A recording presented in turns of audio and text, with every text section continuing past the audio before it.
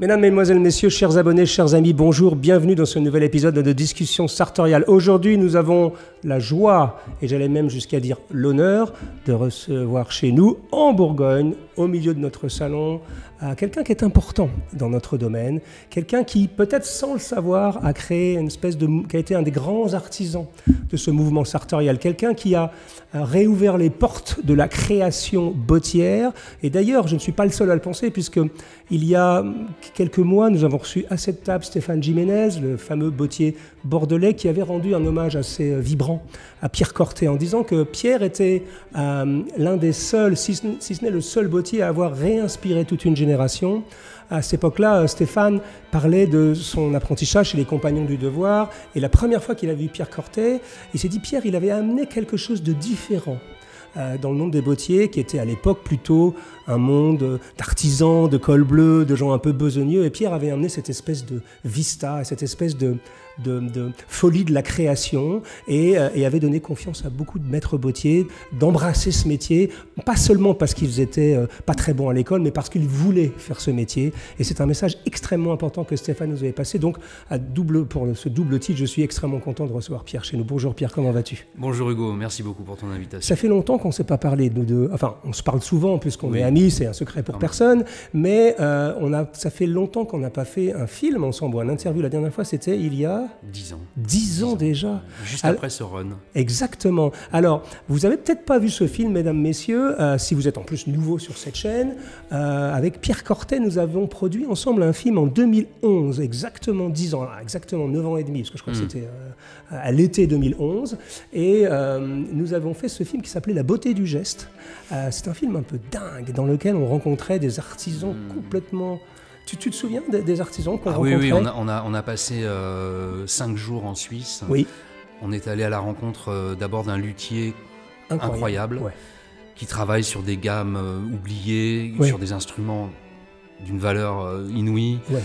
Euh, on a rencontré euh, le dernier fabricant de coucou suisse. C'est vrai. Ça, c'était quand même assez marrant. Coucou suisse, oui. Voilà. Incroyable. On a rencontré euh, des chocolatières ah, suisses italiennes. C'était en Italie. Suisse italienne. À la frontière. Des sœurs qui fabriquaient des objets en chocolat complètement improbables, des outils en chocolat. Et je me souviens. Et c'était béniste incroyable. Et c'était béniste incroyable qui faisait des cabinets de curiosité euh, hallucinants. Hallucinant. Alors, pour ceux d'entre vous qui n'ont pas vu ce film, on va vous mettre le lien. Ça s'appelle La beauté du geste. C'est un film qu'on a fait donc il y a exactement dix ans. Et quand on a fait ce film avec Pierre, je m'étais dit, tiens, on va, on va mettre en, espèce essayer de mettre en regard ou en perspective le travail de ces artisans mm-hmm. complètement inouïs, spectaculaires d'un autre temps et surtout des gens qui vivent presque dans leur bulle. Tu parlais du luthier, le mec qui vit, c'est une tête d'épingle, c'est-à-dire qu'il parle peut-être à 200-300 personnes dans le monde. Il nous avait même interdit de communiquer son adresse. Incroyable. Oui, bah oui, parce qu'il il, il, il, règle des instruments tellement uniques qu'il veut qu'on sache absolument pas où il est. Incroyable. Ouais, ouais, je me souviens, c'est un personnage assez étonnant. Et donc, l'idée qu'on avait eue avec ce film, c'était de mettre en regard ton travail en tant mmh. qu'artisan bottier, en tant que maître bottier, et tout ton parcours assez, euh, comment dire, euh, spectaculaire et intéressant, en même temps mmh. inspirant pour beaucoup de gens, et le travail de ces gens-là. Et on, mmh. essaie de trouver un petit peu des ponts communs, c'est-à-dire, euh, est-ce que l'intégrité dans l'artisanat, ça a encore un sens aujourd'hui? Est-ce qu'il il y a un futur? Pour euh, les métiers de geste, comme euh, le métier de bottier. Est-ce que aujourd'hui on peut créer de nouvelles vocations mm. chez les jeunes qui ont peut-être envie d'embrasser ce métier? Alors Stéphane Jiménez d'ailleurs l'a dit très bien à cette table, il a dit le problème des jeunes, c'est qu'ils ils voudraient tous être Pierre Cortet mm. ou être euh, même peut-être maintenant Stéphane Jiménez, ou, etc. Le problème, c'est qu'ils pensent tout de suite au glamour, mais ils oublient que c'est un métier extrêmement difficile bah, c'est très difficile parce que c'est très long. Oui. C'est très très long. Euh, avant de pouvoir retransmettre ce qu'on a dans la tête, si on a quelque chose dans la tête, oui. mais avant de pouvoir le retransmettre en objet, en volume, et, d'en faire quelque chose de, et de portable et d'excitant et en même temps euh, voilà d'unique, c'est très long en fait. C'est ça. C'est très long. Bon, après, il y a aussi la, vraie question de savoir de, de combien de bottiers a-t-on besoin dans le monde? Exactement. Parce que c'est une clientèle qui est, qui est infime, qui est toute petite finalement. Donc comment est-ce qu'on comment est-ce qu'on crée sa, sa propre identité, sa propre personnalité? C'est ça qui est, en fait qui est difficile. Hmm. Quand on parle de bottier, mesdames, messieurs, juste pour bien clarifier ce dont on parle, là, quand on emploie le mot bottier avec Pierre, on parle des gens qui font les chaussures sur mesure, à la main, hmm. qui généralement font leur forme également à la main, des formes uniques. Donc on est sur, euh, quand, quand Pierre parle d'un tout petit marché, effectivement, parce qu'on est sur des, des tarifs d'abord qui sont euh, bah, qui sont corroborés par rapport au nombre d'heures de travail. et donc on est effectivement sur des choses. Mais il y a des gens comme toi qui ont aussi réussi à avoir une interprétation de leur arbotier dans le prêt-à-porter. Bah, oui, oui c'est ça qui est, qui est, excitant. Exactement. En même temps, c'est comment comment on, moi ce qui m'a passionné au départ en fait dans, dans l'aventure du prêt-à-porter D'abord, c'est l'aventure humaine qui est incroyable parce que monter une usine, monter un, objet de, enfin, un, site de fabrication, un outil de production, un outil de production, c'est une aventure. Quand on, est parti de rien, hein, on est parti de zéro, on a On va en parler justement en détail. Mais ce qui est excitant, c'est de se dire, voilà, on a créé quelque chose euh, d'unique, mais comment on, peut faire en sorte de, le rendre reproductible, en fait, de faire des multiples, comme en art, quand on tire une lithographie. C'est ça qui est excitant, en fait. Ah, j'avais jamais bah pris ce point de vue-là. Et d'ailleurs, tes, tes, plus beaux succès au niveau du prêt-à-porter sont tous issus tous. Du bespoke. Du bespoke, tous. Notamment l'Arca. On va surtout l'Arca. Surtout l'Arca. Surtout l'Arca, qui est le premier, qui a été le, vraiment le, premier fondateur. Euh, également euh, le Bella aussi, le, Chelsea Boots, qui vient de la mesure. Euh, un des derniers modèles que je vous présenterai tout à l'heure, qui est un modèle issu de la mesure qu'on passe en prêt-à-porter. Et ça, ça a un succès fou en général. Et ça, c'est pas facile à faire parce que j'ai en tête pas mal de bottiers qui ont tenté l'expérience et même de tailleurs d'ailleurs, pour qu'on mm. pourrait faire la, même analogie. La, même analogie. Ils ont du mal à ne pas perdre leurs pattes dans un processus plus mécanisé. oui, parce que souvent, quand on pense prêt-à-porter, d'un seul coup, on pense évidemment, euh, on se dit, il faut que ça aille à tout le monde. Oui. Bah, oui et non, parce que c'est un piège. En fait. Moi, j'ai en tête un, mot de Jean Grimbert qui m'avait beaucoup marqué. Jean Grimbert, donc, qui était chez Arnis, à l'époque. Voilà. Qui, qui, un jour, parce qu'on a fait, on a fait une collaboration avec Arnis il y a de cela pas mal d'années, on leur a fait une petite série de prêt-à-porter. Et au cours des entretiens qu'on a eus, euh, Jean me dit euh, Bon, je vais vous expliquer une chose sur la silhouette. Moi, si uniquement 60% de mes clients peuvent porter du harnise, ça m'est égal. Mais ils porteront du harnise. ils porteront pas quelque chose qui sera dénaturé. je suis d'accord. Et, je trouvais ça, ça m'a beaucoup marqué parce que, alors évidemment, ça demande un travail de mise au point de la forme. Incroyable. Très, très, très, très fort parce que, évidemment, une un modèle mesure, il va pas aller à tout le monde. Non. Mais. Par définition. Par définition. Mais si on travaille vraiment dans le, dans le, dans le fond, dans la fondation de la forme et qu'on cherche tous les éléments euh, constitutifs du chausson, dire vraiment tous les éléments importants, finalement, on peut y arriver. Hmm. Alors, on arrive à nous aujourd'hui, on a trois largeurs dans, nos, formes, on arrive à chausser quasiment 100% des gens. D'accord. Mais il faut partir de quelque chose, euh, il faut être exigeant en fait, il faut, il faut travailler sous la contrainte. Exactement. Parce que la contrainte, c'est ce qui va favoriser la création. Mhm. Je pense que, c'est assez universel ce que tu dis je pense que c'est universel dans, tout le, dans, tous les corps de métier. Ce que, ce que je voulais dire et ce que je voulais expliquer euh, euh, avec cette question-là, c'est comme quand Stéphane Jiménez dit que les gamins, ils cherchent le glamour mais qu'ils n'ont pas conscience de la dureté de ce métier, parce que c'est un métier qui est dur, c'est un métier de sueur. Physiquement, c'est dur. C'est dur, c'est un métier où tu saignes, c'est littéralement de la sueur et du ah sang. Ah oui, c'est de la sueur et du sang. Exactement. Alors, on va revenir euh, sur un peu ton histoire. Alors, tous les gens qui ont acheté, et je vous félicite d'ailleurs, mon livre Parisian Gentleman, ou plus récemment, notre dernier livre qui s'appelle Souliers. Alors là, j'avais déjà ouvert en préparation. Mon réalisateur va pas être content, mais je vais faire une acrobatie. Voilà, Souliers. Euh, tous les gens donc, qui ont lu ces deux ouvrages connaissent un peu ton histoire. On a raconté euh, le parcours assez, euh, j'allais dire, assez particulier de Pierre Cortet. C'est pas un, parcours rectiligne. Je pense que comme tous les bottiers, c'est pas un parcours d'un garçon qui s'installe comme maître bottier et qui a du succès, etc., etc. C'est beaucoup plus heurté que mm. ça. mais, ton travail, mais ton parcours est complètement un peu, un peu dingue d'ailleurs mm, quand on y réfléchit un tout petit peu. Donc je voudrais que tu nous racontes rapidement, depuis un peu le début, les compagnons du Tour de France, les compagnons du Devoir, puis après ton passage chez Berluti. Bon, je connais bien son histoire. Hein, il ne le sait pas d'ailleurs, mais je suis son biographe officiel. mais, surtout, donc, toute cette incroyable, c'est surtout les deux, trois coups de chance que tu as eu avec la sonnette qui sonne au bon endroit. Alors, raconte-moi rapidement. Exactement. rapidement, j'ai bon, eu euh, le parcours euh, d'un apprenti qui commence chez les compagnons, qui part faire un Tour de France qui, pendant ce Tour de France, a quand même la chance aussi de rencontrer des individus particuliers. Oui. Monsieur Dréan, à La Roche-Bernard, dans un endroit complètement improbable. Euh, on ne sait même pas où c'est sur la carte. C'est la Sarthe? Non, c'est en, en Ille-et-Vilaine. Enfin, c'est dans le Morbihan, c'est ah au bord de la Vilaine. Ah oui, très très jolie ville. En Bretagne. très très jolie ville. Donc j'ai fait ce Tour de France. Ça a été vraiment, c'est quand même des moments formidables parce que c'est une expérience de vie. Quoi. Enfin, on, passe des moments humains incroyables. C'est très dur. Bon, c'est à l'époque c'était je ne vais pas parler comme un vieux CON, mais c'est vrai que ça a changé depuis, mais bon. Et en revenant à Paris à la fin de mon Tour de France, mon obsession, c'était d'aller euh, chez les bottiers. Oui. Ça, c'était pour moi une Donc, évidence. Donc, il y avait quoi? Il y avait Loeb, il y avait. Euh, bah, il y avait Loeb et Berluti, c'est tout. il restait ces deux-là. C'était vite fait. C'était vite fait. Donc, je me suis retrouvé avec mon, ma caisse à clous, euh, dans, ma besace à clous, à rencontrer Monsieur Dickinson chez Loeb. Ouais.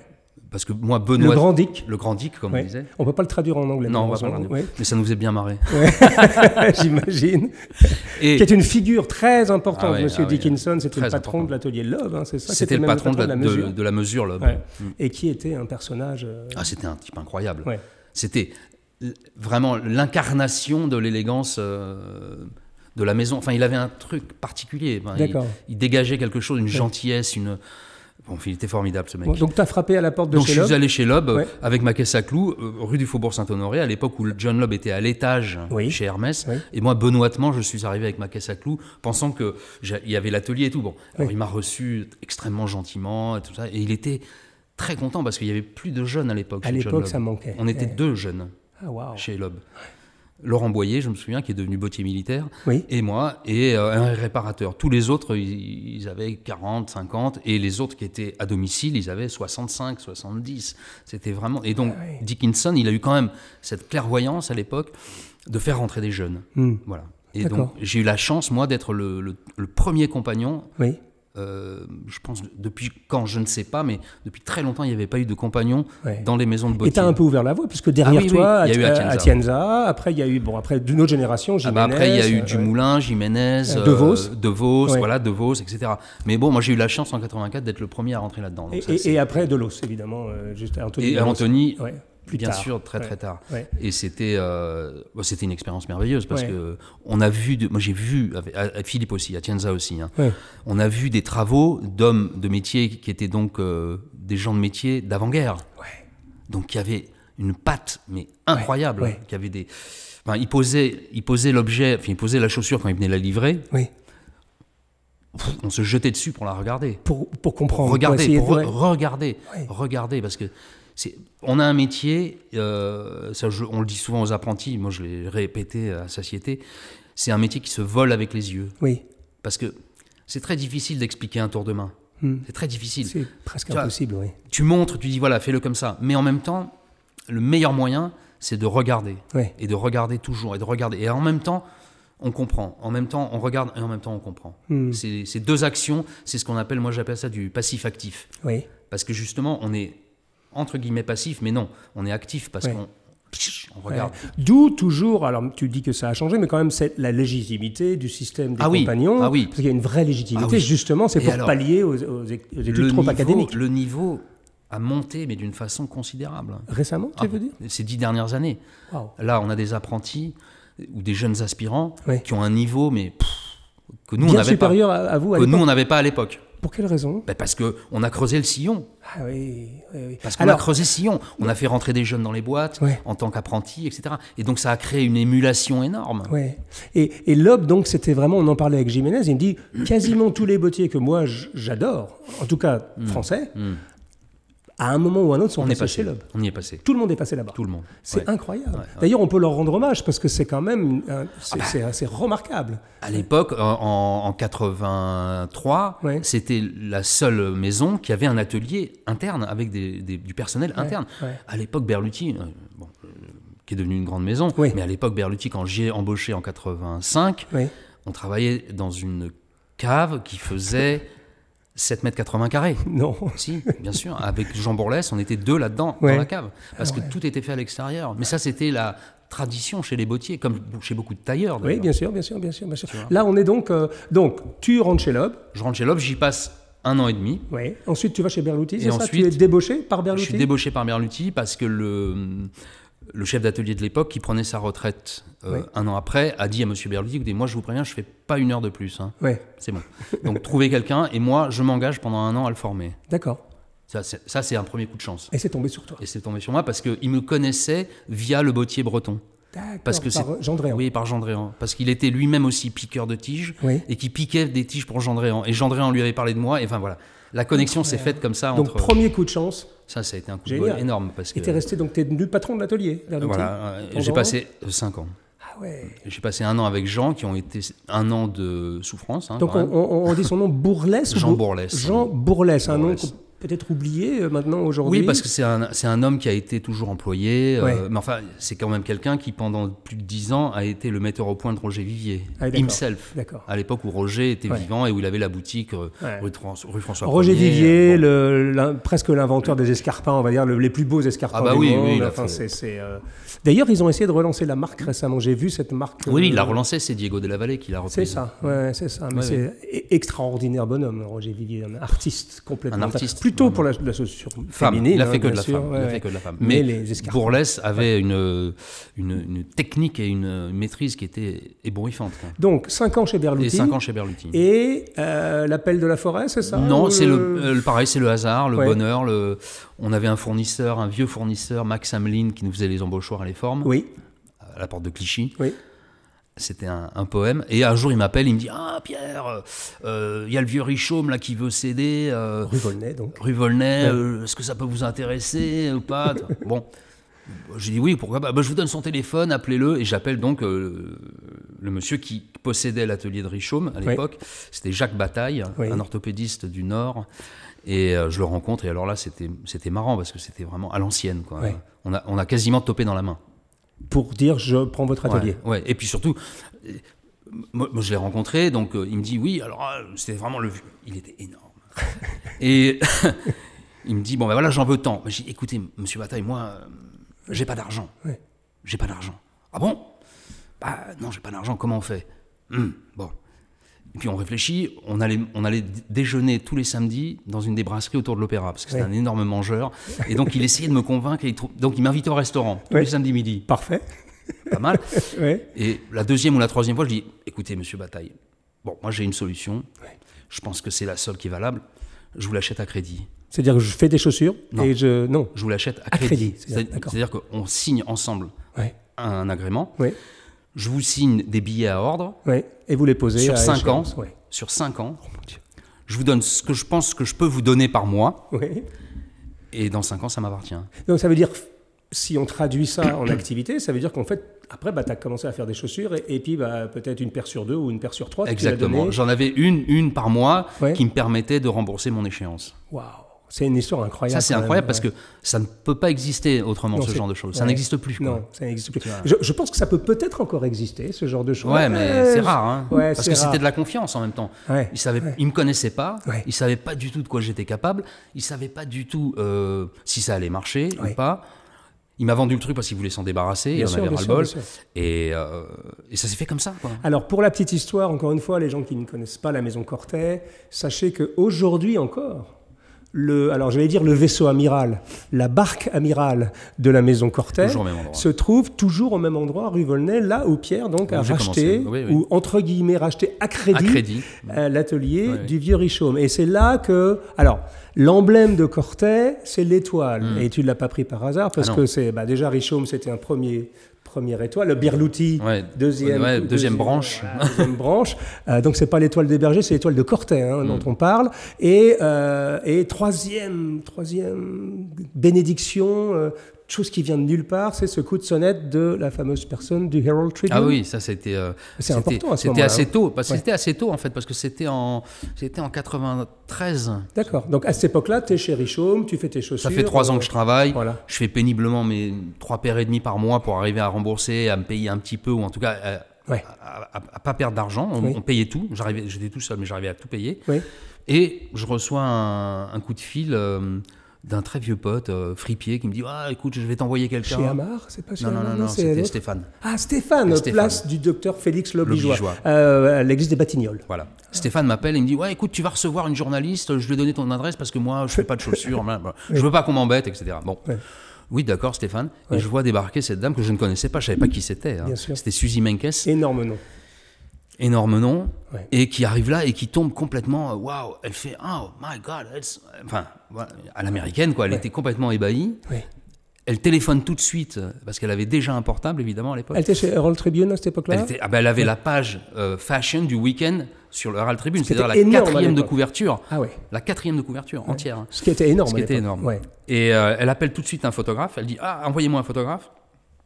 Il vient et on fait un interview. Elle me prend en photo, il me prend en photo, et je fais la quatrième de coupe du Herald Tribune. Incroyable. Moi, je ne me rendais même pas compte. Hein. Je ne m'en rendais pas compte. Et je, bon, ça. Alors, je commence à recevoir des coups de fil d'Américains qui voyageaient beaucoup parce que les Américains évidemment bah, il y avait beaucoup ils étaient au Ritz donc, je commence à avoir 3-4 clients bon formidable et puis euh, peu de temps après 15 jours ou 3 semaines après je reçois un coup de fil d'une anglaise qui me dit ah elle me parle en anglais, bon, elle me dit ah, I, wrote you article on the Herald Tribune, etc. Blablabla. Euh, je travaille pour quelqu'un euh, d'important. Euh, est-ce que vous pouvez venir le voir à Londres? Hmm. Ouais, ok, pas de problème. Je vous envoie un billet de train. enfin, prenez le billet de train, il n'y a pas de problème. et vous, vous, venez au Dorchester. Je vous appelle quand vous arrivez. D'accord. Donc, J'arrive au Dorchester, le super palace. C'est une histoire géniale. Je la connais déjà, mais j'adore l'écouter. Sur Hyde Park, donc j'étais gamin, enfin, je, voilà, c'était. Bon, je monte dans la chambre, j'attends le coup de fil, craque, le téléphone sonne, je décroche. Ah, c'est Stephanie Proudman. Ah, ok. Vous avez une voiture qui vous attend en bas dans 5 minutes. Pum. Je raccroche. C'était James Bond, hein, le truc. c'est comme un thriller. Je descends avec mes valises d'échantillons, tout ça. bon. Et je vois une limousine qui arrive, craque, je rentre dedans, hop, là, vous part. On rentre dans Regent's Park qui est ce grand parc rond avec des maisons tout autour. Bien sûr. Là, à un moment, on s'arrête, on ralentit, deux grandes grilles qui s'ouvrent, crac, on rentre dans un parc incroyable avec un château victorien à l'intérieur, enfin un truc de dingue. Et puis je vois des gardes du corps partout dans le, dans le parc. Là, tu te dis, bon. Et je me dis, tiens, hum, ils ont un type, des Indonésiens. Hum, je commence à réfléchir un peu. Je me dis, hum, et puis je rentre dans le, dans le hall immense de cet endroit. Et je vois un gars arriver en short et en débardeur de foot, avec des téléphones dans la ceinture, 5 ou 6 téléphones accrochés dans la ceinture. À l'époque, c'était rare. C'était lourd en bah plus. Et puis c'était le sultan de Brunei. Le sultan de Brunei. Et qui t'a passé commande pour On a fait euh, en tout, pendant, on a travaillé deux ans, ouais, deux ans et demi pour lui, ça, on a fait 100, 140 paires. 140 mm. paires en bespoke. Ouais. C'est incroyable comme histoire. Et, ouais, et là, d'un seul coup, tu te retrouves débordé de travail parce que quand ah tu bah peux là, pas fournir là, j'ai pu embaucher. Donc tu as embauché. Là, j'ai pu embaucher. Et c'est là où ton frère a commencé à travailler. Non, c'est beaucoup plus tard. Pas beaucoup plus tard, mais trois ans après, parce que lui, il était encore sur le Tour de France. Ah oui, Il n'avait pas encore fini. D'accord. Donc là, j'ai embauché un jeune garçon, très bien à l'époque, qui nous a beaucoup aidé. Ouais. Et puis, euh, et puis on a voyagé. Moi, j'ai dû voyager. Donc, je suis allé à Bornéo, euh, au Brunei. C'est génial. Donc ça s'est ça ça s'est passé comme un conte de fées en fait. Ouais, c'est un conte de fées. C'était vraiment un conte de fées parce que j'ai pu commencer à j'ai repeint le magasin, j'ai fait des travaux, j'ai pu acheter des meubles, j'ai acheté de la matière première surtout parce que c'est ça le, nerf de la guerre pour nous, c'est d'avoir la bonne matière première. ce qui est pas facile d'ailleurs ben aujourd'hui. Non, non, non, aujourd'hui c'est moins facile. C'est un autre sujet qu'on abordera un tout petit peu plus tard. Donc là on est donc ce parcours, quand je dis que c'est un parcours spectaculaire, c'est vraiment un conte de fées et en plus je pense que c'est euh, c'est pas qu'un conte de fées. Je pense que ça c'est une histoire qui alors on va on va la continuer parce qu'il y, y, a encore cette personne qui a le golf dans les ah ça aussi, voilà bref qui t'a permis de monter l'usine à Neuilly-Plaisance. Enfin c'est toute une histoire. Mais je trouve que quand même c'est riche d'enseignements, mesdames messieurs, parce que vous voyez.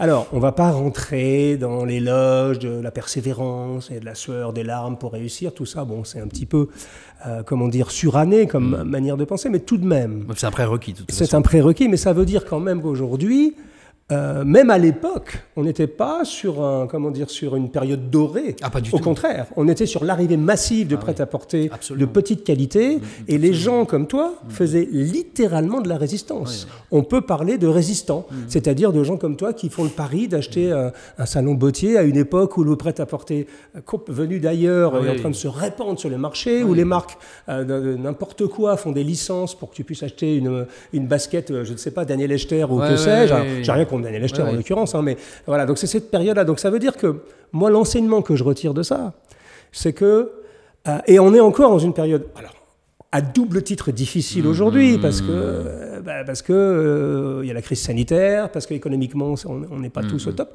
mais ça veut dire quand même, et je pense que c'est vrai aujourd'hui, qu'on peut quand même continuer à croire à un futur à la main, on peut quand même continuer à se battre pour une certaine euh, comment dire, pérennité, ce genre de métier. tu l'as prouvé dans les années 90, et, aujourd'hui, je pense que c'est encore possible. En revanche, il ne faut pas s'attendre à ce que les dollars pleuvent du jour au lendemain. Il ne faut pas s'attendre à ce genre de choses. Non, c'est un métier dont on peut vivre euh, très correctement si on le fait bien et qu'on n'a pas de retour et que voilà. Euh, mais moi, je pense de toute façon que ce rapport à l'objet manufacturé, enfin fait à la main, de très bonne qualité, je pense que c'est un rapport que Aujourd'hui, les gens recherchent vraiment. Exactement. ils le recherchent parce que, évidemment, on n'est pas dans le numérique, on n'est pas dans quelque chose euh, de facile, de, rapide, on est dans quelque chose d'archaïque, vraiment archaïque. Et d'une certaine façon, c'est un refuge du sentiment. C'est quelque chose dans lequel on va retrouver des, émotions, une expérience, et un moment de partage avec la personne qui le fait aussi, bien sûr, ça c'est très important bah, qu'on peut absolument pas euh, trouver nulle part ailleurs. Enfin, c'est irreproductible. Exactement. Et alors, tu me disais, il y a dix ans, je me souviens exactement, on avait abordé ce sujet-là sous un autre angle. Mhm. On avait abordé ce sujet euh, sous l'angle de dire, voilà, le problème aujourd'hui, et je pense que ça a changé depuis dix mhm. ans, parce qu'il y a de plus en plus de jeunes maintenant qui s'intéressent à ces mhm. métiers-là. Mais il y a dix ans, je me souviens, tu me disais très exactement, plus ou moins quelque chose comme euh, les parents, ils adorent euh, ça, on a beaucoup de clients, ils adorent les mm. artisans, mm. ils adorent l'artisanat, ils adorent ça, mais pour mon enfant, je préfère qu'il fasse cagne ou matsup, tant qu'à faire, et qu'il soit banquier ou assureur, parce que c'est un petit peu plus sûr pour le futur. Donc ça, je pense que c'est un petit Alors peu ça a changé, ça a changé, ça a changé. C'est vrai que ça a changé. Aujourd'hui, on a une génération de garçons. D'ailleurs, moi, l'exemple absolu que j'ai, c'est à l'atelier aujourd'hui. Oui. J'ai euh, trois jeunes gens. Oui. J'ai Antoine Bénard, qui est le main dans le chef d'atelier, oui. c'est un garçon. Alors, il a fait Matsup, Matspé, oui. il a fait une, un an d'école d'ingénieur, et puis il en a eu assez. C'était pas sa passion. Il y trouvait pas un intérêt. Il, trouvait que ça avait pas de sens. Il s'est passionné pour la chaussure. Il est exceptionnel. D'accord. Il est brillant. Jeune mec encore? Oui, il a 24 ans. Incroyable. Il a 24 ans. Alors, comme en plus, il a une tête très bien faite quand même. Donc, il réfléchit vite, très bien et tout. Parce que être un manuel, c'est pas simplement de la dextérité, c'est qu'il faut quand même avoir un cerveau. C'est quand même très important. Surtout en botterie. Surtout en botterie. c'est particulier. Donc, donc, du coup, il arrive à, vraiment avoir un. Ça marche très bien. Ça, c'est le premier cas. Le deuxième cas, c'est Audrey. Audrey, c'est une jeune fille, une jeune femme, une jeune femme, qui vient me voir il y a deux ans, à peu près deux ans et demi, et qui vient déposer un CV au magasin, comme il y en a beaucoup qui le faisaient. Bon, elle dépose le CV. On m'avait prévenu qu'elle allait venir je, je la vois pas, mais on me dit ah ben elle vient de passer, elle vient, elle était dans la rue, elle repartait. Je l'attrape et donc on fait un entretien. Oui.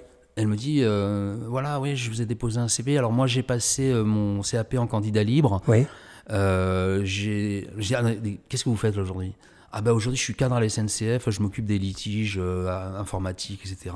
D'accord. c'est quoi votre histoire? Eh ben moi, en fait, j'adore les chaussures depuis que je suis toute petite. J'adore ça. Ouais. Et depuis 3-4 euh, ans, ben, je suis allé dans un atelier à Paris qui est l'atelier de Maurice Arnoux à Belleville, qui est un atelier un peu de loisirs créatifs, si tu veux, où il y a des dames qui viennent et tout. Et elle dit J'ai fait ça pendant 3 ans. Un... dit hmm, Ok, je pense qu'on va faire un essai. D'accord. Donc je l'ai embauchée. Ouais. Et elle est devenue piqueuse. Et elle est incroyable. Piqueuse, alors c'est sans doute l'un des métiers les plus difficiles dans, dans, non, les, dans la les plus rares. oui, les, plus rares, Enfin, les bons piqueurs. Oui, les bons piqueurs, il y en a très peu. Voilà. Donc en fait, les piqueurs, ce sont les gens, pour ceux qui ne sont pas habitués euh, au lexique de cordonnerie ou, à ce langage un peu particulier, technique. Euh, donc les piqueurs, c'est les gens qui s'occupent de la tige, c'est la mm. partie visible de la chaussure, le dessus de la chaussure. Et c'est un métier assez d'abord très minutieux et assez complexe. Très. Parce qu'en fait, le problème, c'est qu'une chaussure, c'est pas simplement un seul morceau de cuir. Bon, évidemment, il y a des chaussures en un seul morceau de cuir, ça s'appelle des hole cuts. Certains, d'ailleurs, sont ce qu'on appelle seamless, hmm. sans aucune couture à l'arrière, mais enfin, c'est quand même relativement rare. mais en gros, une chaussure, c'est l'enchevêtrement de différentes euh, épaisseurs de cuir. Et tout le travail du piqueur, c'est de coudre ensemble ces choses-là en respectant un patronage et aller faire en sorte, on dit parer, je crois, c'est-à-dire amincir, amincir certaines zones de cuir pour que tout ça reste cohérent. Euh, je sais que la femme de Stéphane Jiménez est une ah. piqueuse exceptionnelle, Tomoe. Elle est venue ici. Tomoe, elle est japonaise et elle a un talent, euh, elle a des doigts, incroyable, d'ange. C'est vraiment ça. Ah, et Audrey, donc cette, jeune femme qui a, elle a un peu plus âgée, elle a 27 ans, enfin elle est jeune, hein, elle, elle s'est passionnée, donc je l'ai formée pendant un an. Oui. Euh, alors pendant six mois au début, elle était au montage. Oui. Et puis on s'est aperçu qu'elle souffrait trop au montage, elle n'avait pas le, le nerf, le, ah, il faut du tonus pour. Euh, c'est très très dur physiquement. Et donc je dis, écoute Audrey, moi, je pense que c'est la tige pour toi. Et en fait, elle est extraordinaire là-dedans. Ah, incroyable. Elle est incroyable. Donc pareil, elle est toute jeune. Mais oui, elle a 27 ans. 27 ans. Et, puis il y avait un troisième? Et alors Samuel, Samuel alors lui, lui il a, il a un parcours plus, entre guillemets, euh, classique. Il a été apprenti chez les compagnons, il a fait un, an de Tour de France, je crois, ou deux ans de Tour de France. Et puis euh, il s'est retrouvé à bosser chez euh, mon, mon, camarade Olivier Guyot, qui est un très très bon cordonnier à Paris. Et en fait, en fait, il rêvait de venir travailler à la maison depuis toujours. Et, et, donc au gré des mouvements de, de, gens à l'atelier, on a eu besoin de quelqu'un d'autre, on l'a pris et il est super. Il est absolument formidable. Donc ça veut bien dire quand même que d'abord, un, il y a une nouvelle génération. Ah oui. Et ah qui fait ça par choix. Donc qui fait ça par choix. Pas sous la pression des parents. Non, non. Par choix, parce que je pense que d'abord, Internet nous a beaucoup aidé. Oui. Dans la diffusion de l'information sur ces métiers-là. Oui. Tailleur, chemisier, bottier, tous les métiers artisanaux en fait. Oui. Et beaucoup de jeunes se sont rendus compte que finalement, ah ouais, ah oui, c'est si intéressant que ça. Hmm. Ah oui, c'est si mystérieux. Ah oui, ah oui, c'est pas simplement battre des semelles. Non, ah non. Et c'est pas simplement mettre des patins ou pas mettre des, patins. Voilà, c'est autre chose. Et du coup, évidemment, ça, ça, a ouvert des voies énormes. tu vois à l'époque, nous, on était euh, sur le Tour de France, hein, donc dans les années 80. Moi, qui n'est pas le Tour de France à vélo, hein, qui est le Tour de France euh, des compagnons des compagnons euh, on était, en tant que cordonnier bottier, on devait être 16. Ouais. D'accord? Aujourd'hui, je crois qu'ils sont 80. Ah oui.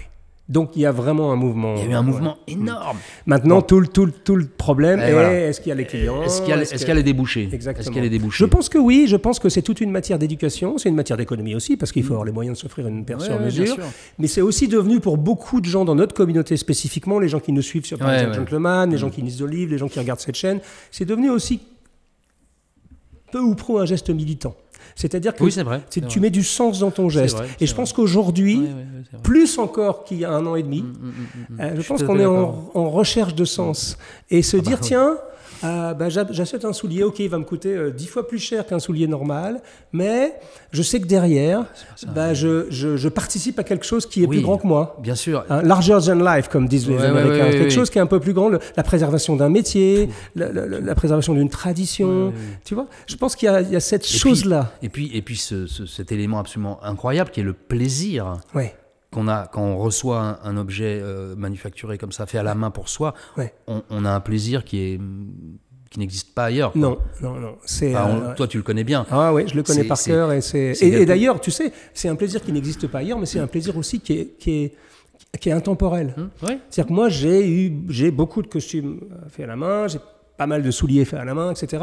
À chaque fois que je vais en recevoir une autre ah bah, ça ah bah j'en ah rêve pendant six mois, bien sûr. comme un gosse. bien sûr, bien sûr. Tu vois Et c'est vraiment ça que et, et, et, je pense que c'est aussi cette cette euh, cette mystique presque de l'artisanat euh, noble qui est en train de renaître. Et bah, c'est ce qu'on essaye de faire nous. On parle de ça toute la journée. On, on, essaye et on est content de voir. Alors, c'est pas le fruit de notre travail à nous uniquement. On est un petit club de gens qui défendent ça dans le mmh. monde. Mais je pense que petit à petit, et en plus, il y a une espèce de réaction aussi par rapport à la mécanisation, par rapport à la vulgarité ambiante, par rapport à, oui, puis cette tous fast fashion qui est, Exactement. Qui est épouvantable parce que c'est tellement polluant. C'est ça surtout. Au sens propre. Ah mais oui, au sens propre, c'est polluant. Ouais. C'est polluant. Euh, je me souviens d'une phrase de, de Gauthier, Jean-Paul Gauthier, qui, bon, voilà, qui disait Mais il y a trop de vêtements.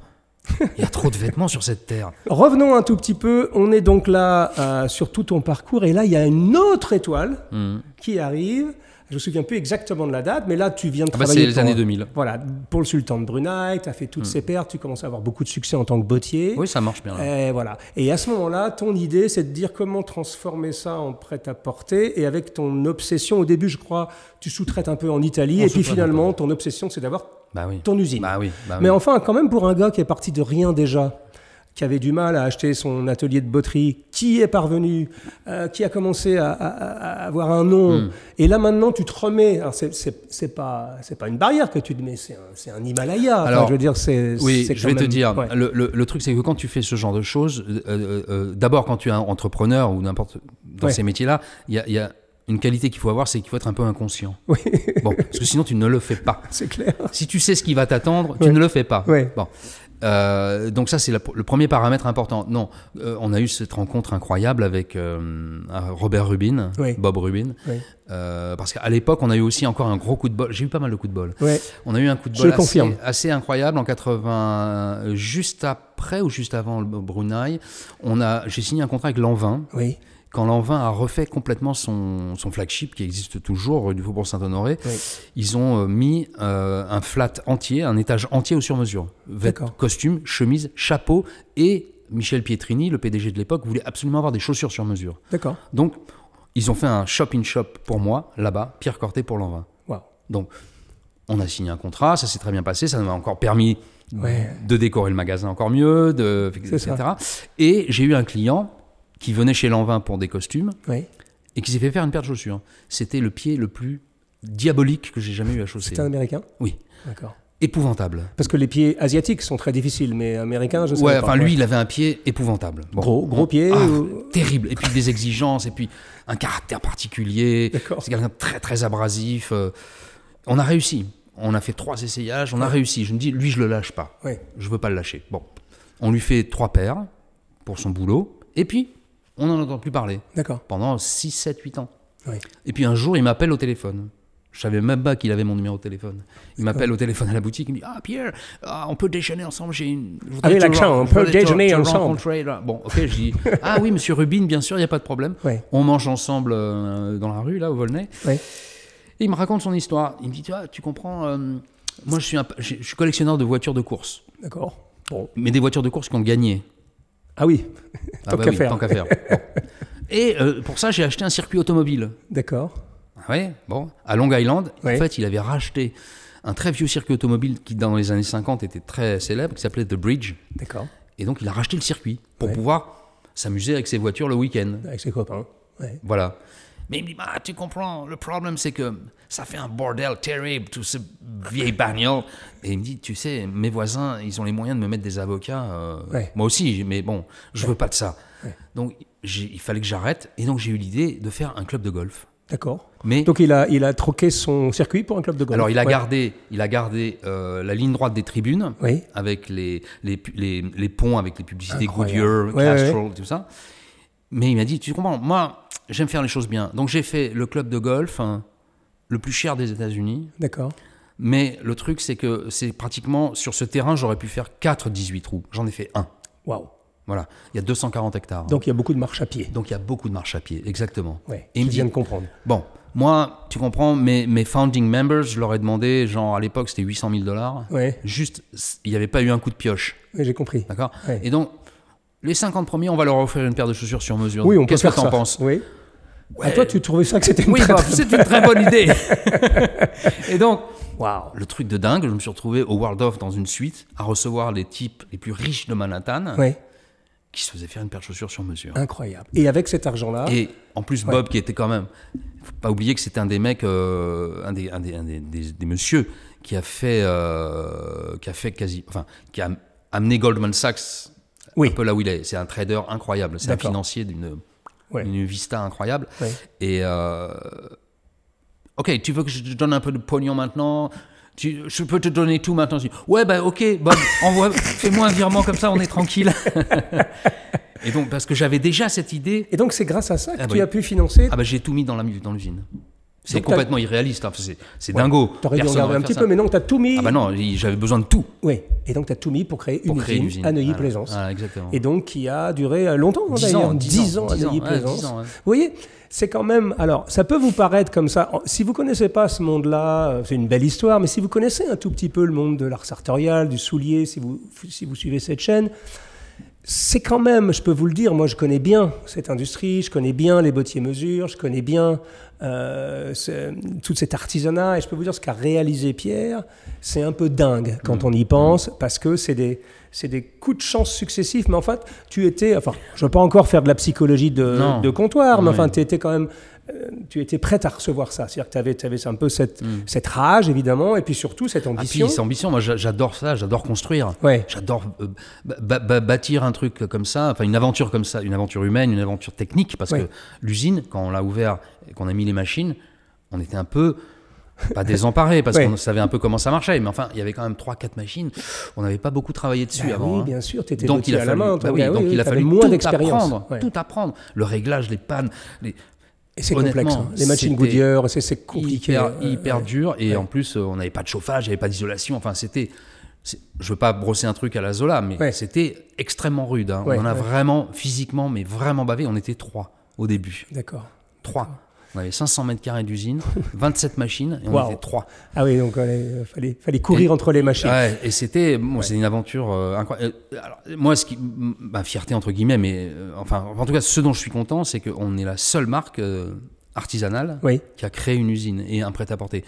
Il y a d'autres marques comme Berluti et Loeb qui ont des usines, mais c'est pas pareil. Ils ont racheté des usines qui existaient, ils ont racheté des groupes, des, des, des, outils déjà existants. L'homme a, racheté, a racheté une usine euh, à, à, Northampton, et, Berluti à Ferrara. À Ferrara. Mais qui était l'ancienne usine Stefanobi. Exactement. Mais ça existait déjà. C'est-à-dire, nous, on est content parce qu'on a tout fait de zéro. De rien. De rien. Donc vous êtes arrivé dans un gymnase et en fait vous avez tout. Voilà, on a tout fait. Donc Neuilly-Plaisance, c'était une façon hmm. pour toi, non seulement d'aller au bout de ton rêve, mais aussi d'avoir enfin cette possibilité de, euh, de sortir de ta cave, ah, littéralement, ah et de t'adresser au monde, et au grand public. Et avec la notoriété que tu avais déjà acquis mmh, via mmh. Suzy Menkes, via le Sultan de mmh. Brunei, via Robin, tous ces gens-là, eh bien, ça t'a permis bien sûr, de. Bien sûr, ça nous a beaucoup aidé. Et puis, en, en, plus, euh, c'est le moment où, effectivement, Internet a commencé à exploser. Oui. 2003, 2004. Exactement. Donc, donc ça, ça nous a énormément favorisé. Incroyable. Énormément bien sûr. Moi d'ailleurs, je me souviens très bien, comme si c'était hier, de la première fois que j'ai vu ton soulier, on peut le dire aujourd'hui, iconique, qui est le soulier corté par excellence, euh, qui s'appelle l'Arca. Et la première fois que j'ai vu le soulier Arca, je me souviens comme si c'était hier. J'étais dans mon bureau. Euh, entre quatre réunions, j'en avais marre, mm. mal à la tête. Euh, c'était 2006-2007. Et euh, beaucoup de travail, plein de réunions. Je faisais beaucoup de films, beaucoup d'événements spéciaux. Je faisais de la mise en scène. J'en avais marre. Et là, je regardais des souliers en permanence, parce que c'était ma passion. J'étais client chez Berluti un mmh. peu. Bref. Et, euh, et je vois ce, ce soulier-là. Je vois cette forme. Je vois cette languette. Mmh. D'ailleurs, je l'ai encore. Mmh. Mesdames, messieurs, je vais vous montrer. Alors, c'est pas mon habitude, mais là, on va vous montrer. Là, on est vraiment dans la vérité, puisque mmh. c'est la première paire d'Arca que j'ai achetée. Alors, d'après Pierre, elle est un tout petit peu plus jeune. Moi, je pensais qu'elle avait 15 ans, mais enfin, elle a entre 10 et 15 ans, mmh. on va dire. Voilà, ça, c'est l'Arca de Pierre Cortet. Alors, aujourd'hui, vous voyez quand même euh, tous les gens qui parlent de qualité. Euh, un soulier qui a, allez, on va dire 12 ans, on fait une moyenne, mmh. euh, qui a été porté beaucoup, jamais ressemblé en l'occurrence en ce qui me concerne. Bon, je les entretiens, je suis amoureux des souliers, je mets des formes, etc. Mais regardez, ça a encore une gueule inouïe. Moi, ce que mm. j'adorais dans l'Arca, c'était cette languette-là. Mm. Es quand même. On dit le diable est dans les détails. Pour moi, euh, je pense que le, génie est dans les détails. Mm. Plus exactement, c'est comment t'es venu cette idée? Parce que tu enlèves cette languette. Ah bah, il n'y a plus rien. C'est un derby deux œillets, quoi. comme il y en a euh, plein sur le marché. Bon, à, l'époque où tu l'as fait, c'était pas une chaussure quand même qui était complètement courante. Peut-être que euh, ça se voyait pas énormément, enfin tout de même. Mais cette languette-là, et c'est ça qui fait, à mon avis, le génie de Pierre, c'est-à-dire que c'est un bottier, c'est un artisan, c'est quelqu'un qui maîtrise tous ses gestes et tous les fondamentaux, mais c'est aussi, et peut-être surtout pour moi, un designer. C'est-à-dire que tu as vraiment un œil particulier. C'est quoi l'histoire de cette languette? C'est juste comme ça euh, Non. Tu l'as dessiné comme ça? En fait, quand, moi, quand j'ai quand pensé à ce modèle-là, il venait d'abord d'un autre modèle qui était le Sergio, qui était un trois œillets classique. Très bien. Bon. Et puis sur cette forme, au bout d'un moment, j'avais pas la sensation de tourner en rond, mais je me disais qu'est-ce que je peux faire là-dessus pour la rendre encore plus forte, quoi, plus de race, plus de vitesse. Et en fait, bah, je me dis je vais enlever un œillet déjà pour commencer, et je vais couper droit. D'accord. D'accord. Et le premier modèle que j'ai fait arcade, je l'ai fait avec un croco. Grosse écaille, carré énorme. Et, et au moment de faire la languette, je me dis mais donc j'ai dessiné une languette ronde, une languette. J'ai cherché, j'ai cherché. Et à un moment donné, je me suis souvenu euh, de ce côté euh, un peu euh, des souliers un peu, un peu à l'ancienne, un peu petit marquis. c'est ça, hein, c'est ça que ça donne. Et une espèce de préciosité. Voilà. Mais comme le reste est beaucoup plus moderne et beaucoup plus agressif, en fait, ça marche parce que c'est un équilibre. Oui. Et c'est ça qu'il faut trouver, c'est l'équilibre exact, ah, moi, la, la parfaite congruence entre. Donc ça, excuse-moi, congruence. la congruence, c'est dire le, le, point de contact le plus proche. Oui. C'est ce qu'on appelle ça, c'est pour les articulations la congruence. Oui, bien sûr, bien sûr. Et de trouver vraiment entre la partie du du haut, c'est-à-dire cette partie-là ici, cette partie-là et cette partie-là, de trouver l'équilibre parfait.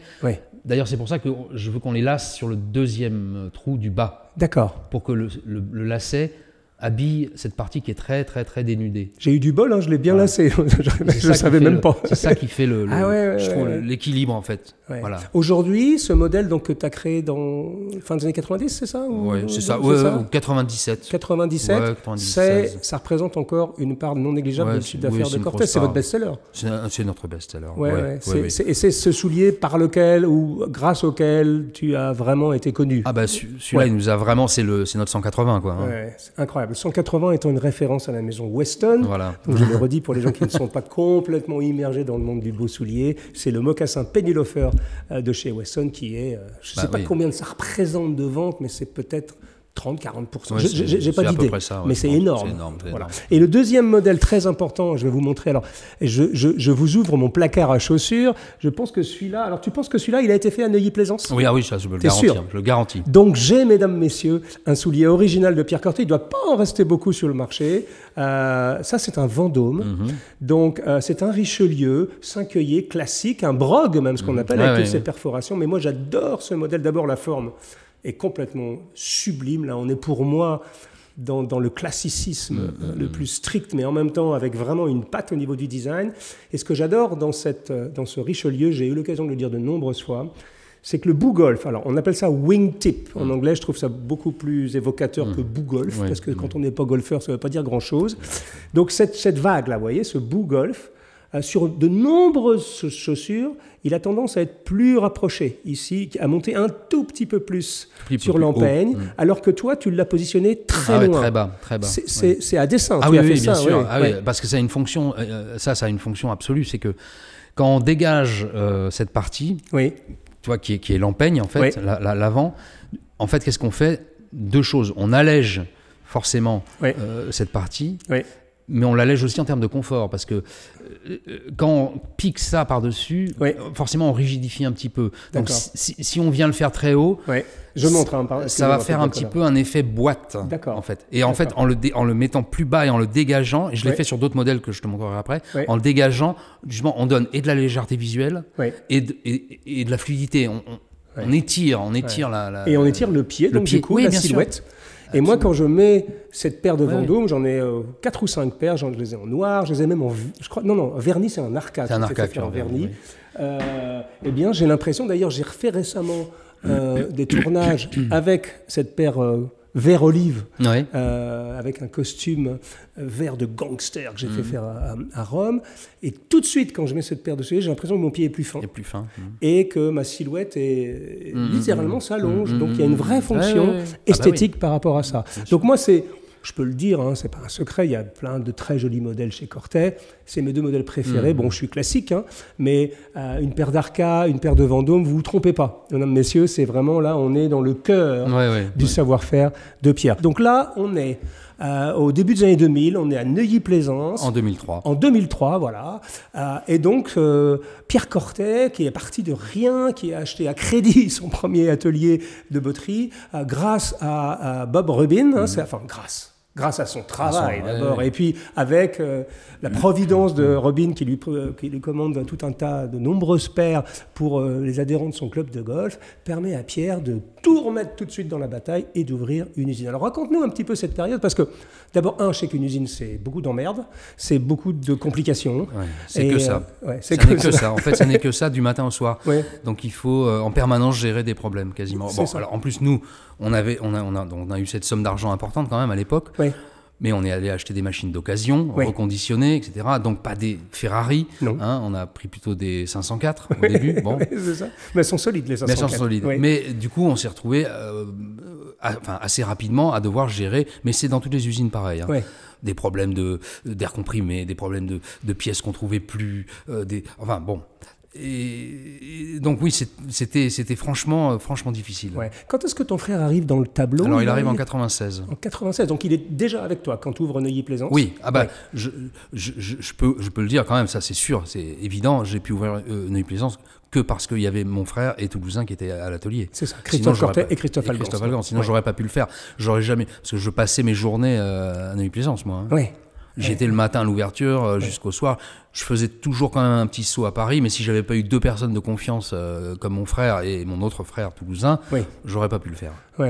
il dit son autre frère parce que dans les Compagnons du Devoir, on parle de frère. C'est une confrérie, littéralement. Bon, donc on est là. Et là, alors, je vais essayer de bien comprendre pour être sûr de bien comprendre l'évolution. Donc là, tu avais déjà fait un peu de prêt-à-porter, que tu avais sous-traité en Italie, mais tu n'étais pas très content Non, on a, on a fait une première expérience. Euh, en fait, on a fait une première expérience très tôt. On a fait une première expérience quand j'ai signé le contrat avec Lanvin, qui nous a amené assez de cash. D'accord. Et on a fait une toute première petite collection de trois modèles avec, euh, bah, avec euh, le premier atelier de Stefano B, avec Stefano Branchini à l'époque. D'accord. À Ferrara. À Ferrara. Et il nous a fait une très jolie petite collection de souliers qui étaient plus sages. C'était le début. Bon, voilà, on a commencé. ensuite, on a arrêté et on a recommencé le prêt-à-porter en 2001 avec un sous-traitant italien. Oui. Ça s'est très mal passé parce qu'il nous a, euh, il a vendu nos formes et nos modèles à d'autres personnes en Russie sans nous le dire. Enfin bon, On a fait encore une autre petite expérience euh, dans les Mauges euh, avec Malinge pendant six mois. Mais bon, là, ça a été aussi compliqué. Et puis, conjointement, en fait, tout s'est passé en même temps. On a eu, d'une part, deux groupes japonais qui sont intéressés à nous pour la distribution au Japon. D'accord. Dans le même temps, il y a eu Bob Rubin. Oui. Et dans le même temps, il a fallu créer une usine parce que, évidemment, moi j'ai dit aux Japonais, oui, euh, on fait tout nous-mêmes, vous inquiétez pas, on fait tout. Et en fait, dans ma tête, j'ai tout géré en même temps. J'ai dit, ok, Bob Rubin va là, on va avoir cet argent, on va monter l'usine. Et en fait, on a réussi à monter l'usine aussi parce qu'on a eu un contrat avec les Japonais qui nous ont permis de faire tourner les machines. Incroyable. La première commande, on a eu 500 paires. 500 paires 500 paires, voilà. Par ces distributeurs au Japon Par ce distributeur au Japon qui nous a ouvert euh, trois boutiques en même temps, Osaka, Fukuoka et Tokyo. Oui. Et euh, ça a été terrible parce qu'on a fait 500 paires, ils nous en ont renvoyé 300 qui n'étaient pas conformes. Parce qu'au Japon, c'est regardé euh, à la loupe, pas, hein. ça pardonne pas. Et en fait, on a appris en se trompant.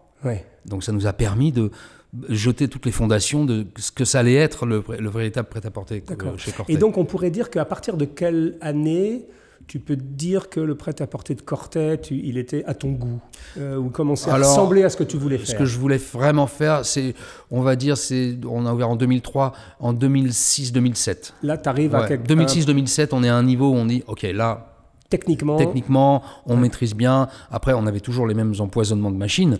Mais euh, techniquement, euh, on y arrivait. On savait ce qu'on voulait faire et comment il fallait le faire. Le problème de ce genre de machine aussi, j'en ai parlé il y a longtemps avec mon ami Tony Gazziano, que tu mm. connais forcément, mm, qui, est, mm, qui est un bottier émérite et, par ailleurs un, mec super, qu'on adore, un, gars vraiment comme ça, comme on dit chez moi. C'est vraiment un type bien. Et Tony m'expliquait que l'un des. Alors, lui, il a ouvert son usine évidemment à côté de Northampton, à Kettering, mhm. exactement. Et c'est rigolo parce que j'ai une histoire. Moi, à Kettering, c'était là quand on faisait des échanges scolaires quand on était gamin. J'avais 14 ans. La première, la première fois que je suis allé à l'étranger, c'était à Kettering. Et c'est rigolo. Je disais ça à Tony Gaziano. Je disais, c'est quand même incroyable que tu mhm. ouvres ton usine. C'était ma. Et moi, pour moi, Kettering, c'est un, un patelin. Un bled. c'est un bled. Enfin, c'est pas un bled, c'est une petite ville. Une petite ville, oui. Avec peu de notoriété. Enfin, bref. Et pour la petite histoire, donc, euh, Tony me disait qu'il s'était installé là pour une seule raison, c'est que c'était pour eux euh, l'endroit où tu pouvais trouver des pièces détachées. Ben Parce qu'il y avait tout un berceau oui, Il y, a un vrai tissu, il y a un vrai tissu économique. Exactement. Ce qui n'était pas le cas à Neuilly-Plaisance. Pour trouver une pièce sur une machine ah, Goodyear, euh, c'était l'enfer. C'était l'enfer. Et puis surtout aussi pour le pour trouver des artisans, enfin des, des, gens capables de travailler. Il n'y en a plus à Paris. On a eu Belleville à l'époque, mais ça c'était dans les années 50, 60, où il y avait quand même des petites fabriques qui faisaient beaucoup de la femme, peu d'hommes. Mais il y avait quand même des gens. Aujourd'hui, il n'y a plus personne. Donc, à un moment donné, on s'est retrouvé quand, quelqu'un partait. À l'époque, en 2006-2007, on était 14 à l'usine. 14, ah oui. Quand un gars partait, c'était une catastrophe. parce qu'il fallait en retrouver un. Alors, on retrouvait souvent des garçons issus de l'artisanat qui étaient intéressés par venir en, manufacture, mais c'est pas la même culture. Mmh, c'est mmh. un peu différent. Et puis des, les artisans, c'est des gens un peu solitaires, avec des caractères quelquefois un peu. Oui, oui, un peu revêche quand même. et c'est compliqué de les faire travailler en équipe. C'est pas forcément, pas, pas forcément facile. Sur des bottiers, c'est plus un, un, ah, solitaire. solitaire. Hein, c'est des solitaires. Un métier solitaire.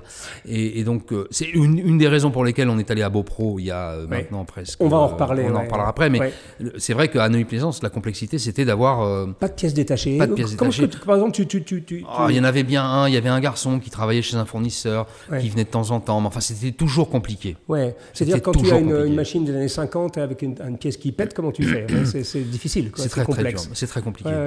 c'est complexe. Donc là, on est Neuilly-Plaisance. Donc euh, à quel moment tu ouvres les boutiques au Japon? C'est beaucoup plus tard ou Non, la, bah non la, première boutique au Japon, on l'a ouvert avec ses distributeurs ah, avec ses en 2003. Ah oui, donc tu euh, donc le jeune bottier, le gars qui arrive avec sa caisse à clous hmm. chez John Loeb, qui achète à crédit euh, l'atelier du vieux gars Richaume, du vieux bottier Richaume rue Volnay, euh, qui euh, se jette à l'eau pour faire une usine comme ça, quand même, tu réussis l'exploit d'ouvrir des boutiques au Japon relativement rapidement. Enfin, oui, assez rapidement quand même. Assez rapidement. c'est allé assez vite après. Et puis du coup, ça, ça a généré évidemment un intérêt euh, du Japon, parce que les Japonais voyageant quand même pas mal, ils sont tous venus aussi beaucoup à Paris à la boutique, parce qu'ils voulaient voir l'endroit où ça se faisait, historique, etc. Donc Ça, ça, a vraiment entraîné le, On mésestime beaucoup euh, dans notre monde l'apport des Japonais, de la clientèle japonaise. Et du goût. Et du goût japonais. Cette expertise qu'ils ont, incroyable, euh, vraiment incroyable sur tous les produits. Le jean, euh, le jean à boire, le jean à porter. ils savent tout faire. Ils savent tout faire. Et, comme ils ont vraiment cette notion de, jusqu'au boutisme, d'extrémisme, dès qu'ils s'intéressent à un sujet, Ils sont incollables.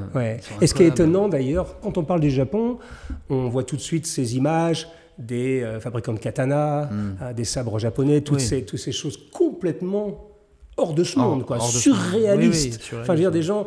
Euh, moi, je me hmm. souviens avoir parlé avec un japonais qui me racontait qu'il y avait un maître qui faisait des katanas et que hmm. quand il te faisait une lame, euh, ça, ça, des ah mois et des mois et des mois, et il frappait quatre lames. Oui, oui, oui, pour en avoir une. En avoir une à la fin. Et c'est des millions de coups de marteau, littéralement, à la main, comme ça. Enfin bref. Et on mésestime l'apport que les Japonais euh, ont eu dans au notre design, monde. Au mais c'est considérable. je, parle notamment dans le monde sartorial. Pour nous, oui, mais dans tous les domaines. Le Corbusier était fasciné par le Japon. Il a passé des années au Japon. Le a passé. Perriand, euh, son expérience, c'est au Japon qu'elle l'a vraiment construite. Alvar Alto, le Finlandais, il était fasciné par le Japon. Il a passé des années au Japon. Donc énormément de designers, d'architectes sont allés au Japon parce qu'effectivement, ils ont été fascinés aussi par ce less is more.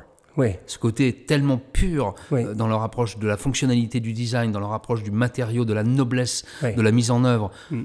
c'est juste incroyable comme. Euh, et en même temps, pour quelqu'un comme toi à l'époque, c'est quand même une forme de. Ah bah C'était une consécration. Une consécration. Ah bah c'est plus que les médias, ah etc. C'est les Japonais qui s'intéressent à toi immédiatement. Euh, ça veut dire quelque chose. Et donc ça, c'est vraiment important. Et d'ailleurs, j'ai eu l'occasion de le dire de nombreuses fois, mais le Japon, on voit fleurir encore. Il y a une, il y a une telle passion pour l'artisanat. Il y a un tel surtout, il y a un tel regard, sur l'artisanat qui est tellement différent d'ici.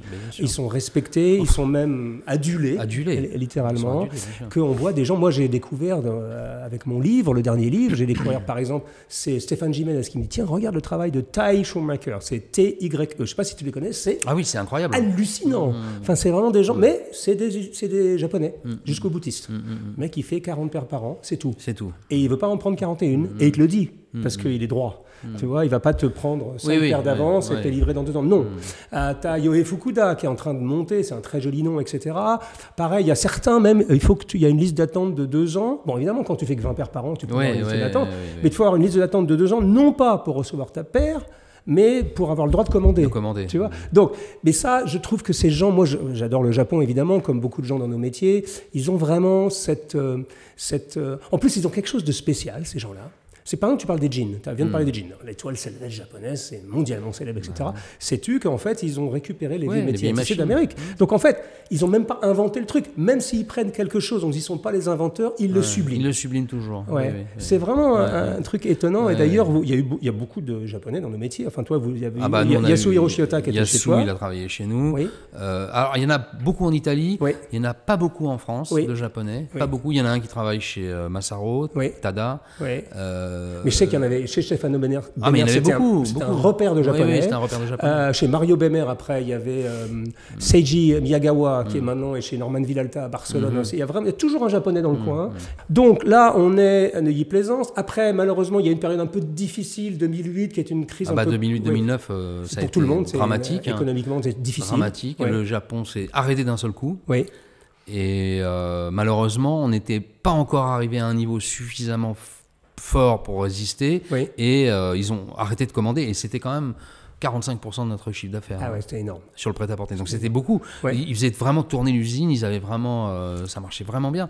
Et, évidemment, on avait fait une erreur. Bon, ça c'est, je la referai jamais si je devais être reconfronté à ça, mais on avait un contrat de distribution, un contrat d'achat qui n'était pas cadencé qui était sur l'année. Donc ils pouvaient commander le dernier jour de l'année. D'accord. Euh, l'ensemble. Donc du coup, on s'est retrouvé pendant six mois sans rien du Japon. Et ça, ça nous a étouffé. Oui, bien sûr, bien sûr. étouffé parce qu'on était en flux tendu. tout le monde était, on était, ça marchait très bien, on était payé là, mais on était en flux tendu. On n'avait pas ni de soutien, ni rien du tout pour euh, nous aider euh, à, Et alors à ce moment-là, donc, il y a une période où tu es un petit peu, on peut le dire, hein, de ah non, mais on dépose le bilan. Voilà, vous n'étiez pas en forme, quoi, on va dire comme ça. Et donc, repreneur, euh, alors j'imagine que des grandes maisons françaises ou autres ont dû frapper à la porte en se disant, tiens, si on peut se choper Pierre Cortet à pas alors, cher. En réalité, non. En réalité, non, parce qu'on était trop petits. Oui. Et les grandes maisons, les grands groupes, hein, pour ne pas les nommer, mais les grands groupes qu'on connaît tous, en fait, aujourd'hui, d'ailleurs même à l'époque, euh, en fait, ne s'intéressent pas à ces maisons trop petites.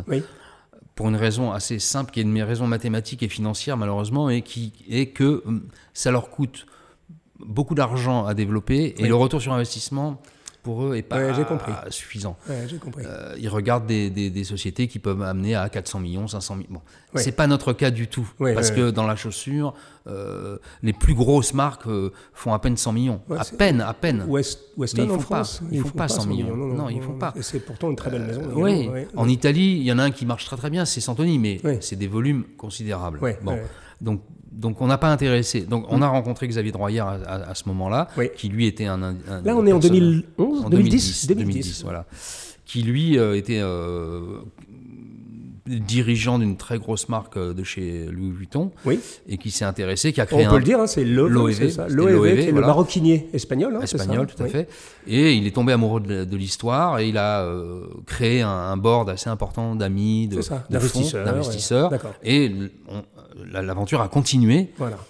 Évidemment, avec des recettes plus, je dirais, euh, euh, plus, plus organisées, on va dire. oui, plus organisées et puis surtout plus puissantes, puisqu'on a pu ouvrir des boutiques euh, à l'étranger beaucoup. C'était moins rock'n'roll que le Cortez ah bah, c'était une autre époque. Oui, c'était une autre époque. C'était une autre époque. voilà, c'est. Mais ceci dit, et quand même. Mais ça a donné beaucoup de visibilité à la Oui, non, mais chose sur laquelle moi je dois vous tirer mon chapeau. Alors je le fais vraiment en dehors de toute autre considération d'amitié, c'est que je trouve qu'aujourd'hui, faire le pari de remonter une usine, en l'occurrence là, et c'est là la grande différence, pas mmh. paumé au milieu d'une banlieue parisienne euh, avec euh, peu de choses autour, mais là dans un des berceaux historiques ah du soulier qui a. Alors c'est Beaupro, mais c'est à côté de Cholet. Hein, c'est ah, c'est à 20 minutes de Cholet. 20 minutes de Cholet. Mmh. Et dans cette espace-là. Alors, il y avait beaucoup d'usines à une certaine époque. Énormément, énormément, énormément. Mais il y en a encore, il y en a encore. Hein. Il y a encore des usines. Il y a des fabricants de talons, des fabricants de lacets, des fabricants de premières, des fabricants. Il y en a encore beaucoup. Hein. Voilà. Donc ça veut dire que là, contrairement à Neuilly-Plaisance, vous mettez à un endroit où il y a un savoir-faire. Il y a un savoir-faire. Il y a des pièces détachées, il y a des fournisseurs, ah bah il y a des sous-traitants. Le, mécanicien de, les mécaniciens qui sont spécialisés dans ces machines-là, euh, on, l'appelle le lendemain matin, il est là. Enfin, il est, à un quart d'heure en voiture. Et si c'est vraiment une urgence, il vient dans la journée. Donc, bon. Ça, c'est un avantage. Euh, c'est génial. Moi, j'ai visité cette usine euh, au tout début, d'ailleurs, il, il, y a de nombreuses années maintenant, et, euh, et j'étais vraiment chapeau, mm. franchement, parce qu'aujourd'hui, d'abord, un, c'est tellement plus simple. Tu aurais pu te dire aussi, tu as une puissance de feu nouvelle, le nom Ok, il y a eu des hauts et des bas, mais il existe. Il existe. Tu aurais pu dire on, va sous-traiter. on, va sous-traiter en Italie, on va sous-traiter en Espagne. il faut vraiment reconnaître que là-dessus, Xavier, il a eu un œil euh, juste, il a eu raison. C'était, vraiment ce qu'il fallait faire. Il a dit l'ADN de, de cette maison, c'est qu'ils sont ils maîtrisent tout. Oui. Bon, donc ça, c'est tellement précieux qu'il faut surtout le préserver. Quoi. exactement. Et surtout le préserver. Là-dessus, on était raccord totalement. Et quand on est parti à Beaupro, ça a été un peu un crève-cœur parce que moi, Neuilly, c'était un endroit où je comprends. tellement. Putain, j'en ai bavé. on a eu des histoires incroyables. Bon, mais, mais le fait d'être allé là-bas, ça, c'était la bonne décision. Parce que maintenant, on a un outil qui est exceptionnel. Formidable. Ah, qui est exceptionnel. et donc, aujourd'hui, euh, Cortet fait partie des rares maisons françaises. Alors, oui, il y a Weston à Limoges, hein, mm. évidemment, qui reste très grand. Je crois qu'il y a Echung, euh, qui a encore son usine. Il y a mm. encore Parabout, je crois. Ah, bah oui, Parabout, c'est merveilleux. Très, très belle maison. Hein. Voilà. Et, et Cortet, je pense que j'en ai. Il y en a peut-être quelques-uns, mais c'est un peu les derniers des Mohicans, des gens qui font le pari mm. en disant voilà, on peut encore fabriquer en France, malgré le coût du travail, parce que c'est complexe d'avoir une usine en bah France, malgré. Euh, c'est beaucoup plus simple. De, et il y a des gens très bien qui savent faire ça très bien. Tu vas dans la région d'Albacete euh, en Espagne, il y a des gens qui font des très beaux souliers. Mm. Tu les sous-traites, tu fais plus d'argent, plus de marge. Donc il y a quand même une forme de cohérence mm. dans le fait que. Et c'est la même chose. J'en parlais avec Jiménez d'ailleurs mm. euh, récemment, parce que je dis mais. Parce que lui aussi, de temps en temps, comme tous les bottiers, il se dit Bon, tiens, je ferais bien un modèle ou deux en prêt-à-porter, mais le problème, c'est de trouver un atelier. Il me dit Moi, avec ma culture métier, je vais jamais jamais m'entendre avec mm. un atelier espagnol. je, vais, je, vais, leur gueuler dessus en permanence. Et il me dit, comme je vais avoir des, volumes minuscules, je n'aurai pas, pas, pas voix au chapitre. Donc, bien sûr, son rêve aussi, c'est d'avoir un atelier, etc. Mais c'est aujourd'hui extrêmement dur. Donc, chapeau pour ça. Et, le fait que d'avoir, vous voyez, on parle aujourd'hui, on est dans cette crise sanitaire, on parle de relocalisation, on parle de consommer local, etc. Cortet est un excellent exemple. Alors oui, euh, et on va parler maintenant de souliers quand même. Bah, ça fait presque une heure qu'on papote tous les deux. Il va falloir bien qu'on parle de souliers. Mais oui, il y a euh, euh, bah, une paire de cortets. Bah, c'est pas une chaussure pour tout le monde. Enfin, si, c'est une chaussure pour tout le monde, mais c'est une chaussure qui a. Ça demande une certaine culture, un certain, un certain raffinement. Ce mmh. C'est pas une chaussure qui coûte 200 euros non plus, mais pour plein de raisons. Usine en France, et puis surtout ce design particulier, la qualité des matières, etc., sur lequel vous êtes toujours resté incorruptible. Ah, toujours. toujours. Puis c'est un choix. Enfin, je pense que pour un client qui vient chez nous, il fait un choix. Il fait un choix. Effectivement, moi je dis pas que c'est cher, je dis que c'est coûteux. Oui. Parce qu'effectivement. Ou on va dire que ça a de la valeur. Et ça, et ça a une valeur, ça a une vraie valeur. Euh, et, bon, voilà, on sait très bien que le soulier, comme celui que tu as montré tout à l'heure, bah, dans 10 ans, il sera encore là. Ouais, bah, la preuve. Hein. J'ai montré ça, c'est l'Arca, donc le modèle le plus célèbre de Cortet. Euh, c'est un prêt-à-porter hein, que j'ai fait. Alors, on, s'est un peu chamaillé sur la date, mais moi, je pensais que c'était 15 ans. Lui dit c'est plutôt 10-12. Mais enfin, vous voyez, hmm. euh, l'état du soulier après 10-12 ans. Et même chose, j'ai un Vendôme ici, magnifique wingtip, je l'adore, vert olive. Alors, je ne les ai pas patinés spécifiquement. mais regardez, hein. Se porte encore très très bien, hein, cette chose-là. Donc c'est vraiment, on est sur, euh, sur un soulier d'un certain niveau, avec une vraie qualité de construction, fait en France. Et donc, euh, c'est vraiment quelque chose que moi, je respecte énormément, parce que c'est au-delà du geste militant. En plus, chez Cortet, et on va rentrer dans notre la grande discussion sur le style, il y a quelque chose en plus. Je vais vous raconter une histoire. Euh, l'année dernière, alors je ne sais plus, parce que vous savez, depuis qu'il y a la crise sanitaire, on ne sait plus ce que ça veut dire l'année dernière. on, est un peu perdu. Mais avant la crise sanitaire, nous sommes allés à Hong Kong. Tu étais là d'ailleurs oui, oui, oui, oui, bien sûr, tu étais là avec, Lorenzo, Et on a mis donc un étalage de souliers cortés. On a mis quelques. Il y avait Dormeuil qui était partenaire de cet événement à Hong Kong. Et une fois de plus, je me le suis pris en pleine face quand j'ai vu le présentoir, que une équipe formidable d'ailleurs Hong. Le gars, c'est ah ouais, un génie, hein, très très fort. il adore le produit, ça oui. Il, est, passionné. Eh ben, je suis désolé, mesdames, messieurs, mais vous mettez des jolis euh, souliers. Alors peut-être, sauf que j'allais dire Kadziano and Girling, qui est hmm. quand même hmm. une race extraordinaire, mais vous mettez un présentoir de Cortet, il se passe quelque chose. Et moi, j'ai vu ces gens de Hong Kong, même des filles, hmm. des oui, femmes. Les, femmes adorent. Ah bah oui, les femmes, elles regardent ces filles, elles disent Waouh, il y a quelque chose de particulier, il y a hmm. une patte, il y a une touche. Et ça, moi, je, encore une fois, je vous tire mon chapeau parce que, alors, je suis pas en train de lui cirer les pompes à un cortège, on se connaît suffisamment pour se dire la vérité, mais c'est vraiment, je trouve que vous avez, vous vous êtes pas perdu au long hmm. du chemin. Et il y a encore, quand on regarde, alors on va regarder des modèles, on va parler des nouveaux modèles, mais quand on regarde ça, moi, je sais que je suis, je suis chez Corté. Au premier coup d'œil, je peux vous dire que je, suis chez Corté. Ça, même si c'est une forme, et on va en parler euh, un petit peu plus en détail, une petite forme beaucoup plus sage, on va dire, beaucoup plus, beaucoup plus anglaise, hein, même j'irais jusqu'à dire, on va dire, qu'est-ce que tu dirais Française, très française. Pardon. Alors très française. Voilà, il va me reprendre, il va m'expliquer pourquoi juste après. Euh, bon, bah, quand on regarde ça, on trouve moi, je trouve qu'il y a quelque chose en plus dans, dans ce... Bah, il, y a, cette patte. C'est des détails très infimes qu'on ne peut pas forcément expliquer, mais mm. qu'on voit. Oui. Donc on, les voit, on ne sait pas pourquoi, mais on le reconnaît. Nous, on a très souvent certains clients, d'ailleurs, ils ne savent pas expliquer ah, pourquoi c'est beau. Mais on le ressent. Ouais, On ah, tu sais, c'est comme la musique, c'est comme pareil. oui, oui c'est comme, euh, toute forme d'art. Euh, bien qu'on ne soit pas des artistes, on est des artisans, mais oui, c'est pas, loin. Mais, mais euh, ce fait de faire quelque chose qui, moi, ça, c'est ça que j'adore, c'est faire quelque chose dont les, les, tout petits détails font cette différence. C'est-à-dire qu'on ne les remarque pas tout de suite. Mais si on l'explique, allez, ah oui, effectivement, je comprends pourquoi c'est différent. Et il y a un truc que vous avez, qui, à mon avis, est vraiment unique, c'est que les chaussures Cortet, mesdames, messieurs, je vais dire le mot et je, je l'assume totalement, c'est des chaussures super sexy.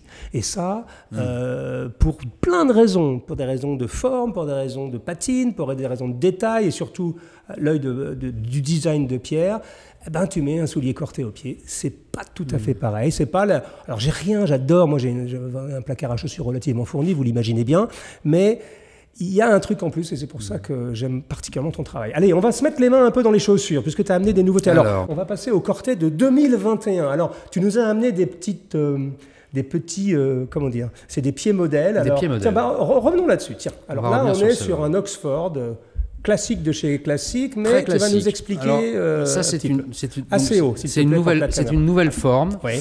Euh, que j'ai voulu moins, moins agressive que les précédentes. Un petit peu plus vers toi. Voilà, je suis désolé, on le fait en direct. Hein, voilà. Moins, moins agressive. Donc que je pourrais qualifier pour le bout d'un carré atténué. Oui. Voilà. Très plate aussi pour, pour, avoir vraiment de la finesse à ce niveau-là. Gagner en aérodynamisme sur le, le, dessus. Oui. Avec un chaussant légèrement plus abondant oui. pour donner aussi un confort. Surtout au niveau du doigt de pied. Au hein, niveau des doigts de pied. D'abord un confort visuel, parce que quand on voit un, soulier en général, on se dit tout de suite, ah oui, ça, ça va m'aller ou pas. Et puis ensuite, dans le dessin de l'Oxford, qui est quand même le grand classique, la ah talonnette, le, bout droit, etc., j'ai travaillé sur les hauteurs. Et la talonnette, normalement, elle monte beaucoup plus haut. Ah oui Beaucoup plus haut. Et moi, j'ai exprès, je l'ai rabaissé. D'accord. Tout ça pour alléger la chose et pour qu'elle soit vraiment, que la talonnette soit, la ligne de la talonnette soit connectée avec la ligne de l'empeigne. Très fort. Donc c'est des, des micro-détails et c'est ça qui est excitant. Pourquoi j'ai dit euh, bout anglais? Parce que c'était un peu plus rond Oui, alors. Euh, ouais. De façon un petit peu générique, on dit toujours oui, les chaussures anglaises c'est rond, les chaussures italiennes c'est pointu. Oui. Bon, euh, aujourd'hui la fusion des styles est, tellement planétaire que bon, c'est difficile. Moi, je le qualifie un peu plus de soulier un peu à la française. Tout simplement parce qu'elle a ce côté bien équilibré, de bon goût. Oui. Euh, de bon goût. Pas exubérant comme pas les pas conservateur comme les Britanniques. Moi, j'en porte au pied. Et au pied, elles sont vraiment une race euh, particulière. Ah ouais, j'adore. Alors, c'est marrant parce que alors j'aime bien Boucaré atténué. Je ne peux pas m'empêcher de vous raconter une petite histoire. Euh, c'est l'histoire de George Cleverley. Et George Cleverley, donc ce grand bottier émérite qui existe encore aujourd'hui. Alors, c'est maintenant, c'est la famille Glasgow qui s'occupe de là. On les connaît bien d'ailleurs, ces gens-là. Et quand euh, euh, George Cleverley qui, était, euh, qui travaillait chez Niklos Tukchek, mm ce fameux bottier de Savile qui était d'origine hongroise. voilà, et qui faisait des, des chaussures, mais pincées, extrêmement serrées presque. Ils s'en foutaient presque du confort mhm. jusqu'à temps. Ils voulaient absolument avoir un style, notamment pour le baron de Redé, pour tous ces gens-là qui portaient ces souliers. Et un jour, euh, euh, George Cleverley, voyant tout ça, et quand il décide de se mettre à son compte après 37 ans hmm. passés chez George Cleverley, euh, pardon, chez Tukchek, il fait son, sa première forme à lui. Et il fait cette espèce de bout carré, un peu sucette carré, hmm. Hmm. et qu'on appelait, les, Anglais ont appelé It was suspiciously square. ce, ce, ce, bout était suspicieusement carré. Et mm. j'adore cette, mm. c'est tellement british comme mm. façon d'expliquer les choses, mais c'est quelque chose, je retrouve un tout petit peu ça, c'est cette notion d'avoir un bout un tout petit peu plus généreux au niveau du bout pour avoir plus d'aisance au niveau des doigts de pied, plus de confort, tout en gardant une ligne. Regardez-moi cette élégance absolue. Comment s'appelle ce modèle? Celui-ci s'appelle le Visconti. Le Visconti, on aurait pu choisir.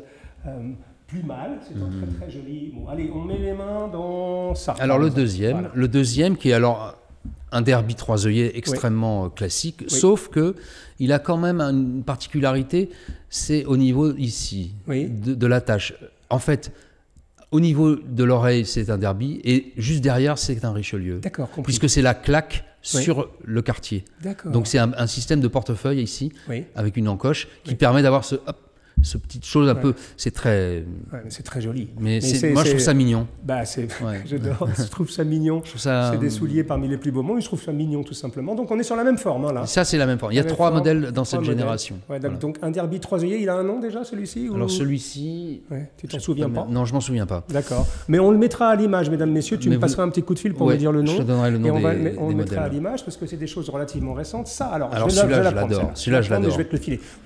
Touche pas à ma pompe, s'il te plaît. donc, alors ça, c'est magnifique. C'est un monk strap. Hein, mm, donc, mm, c'est mm. un.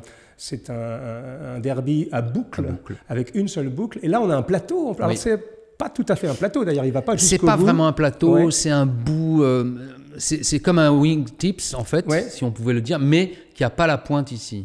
Et moi j'aime beaucoup ça parce que ça dégage l'empeigne aussi, ça donne de la légèreté.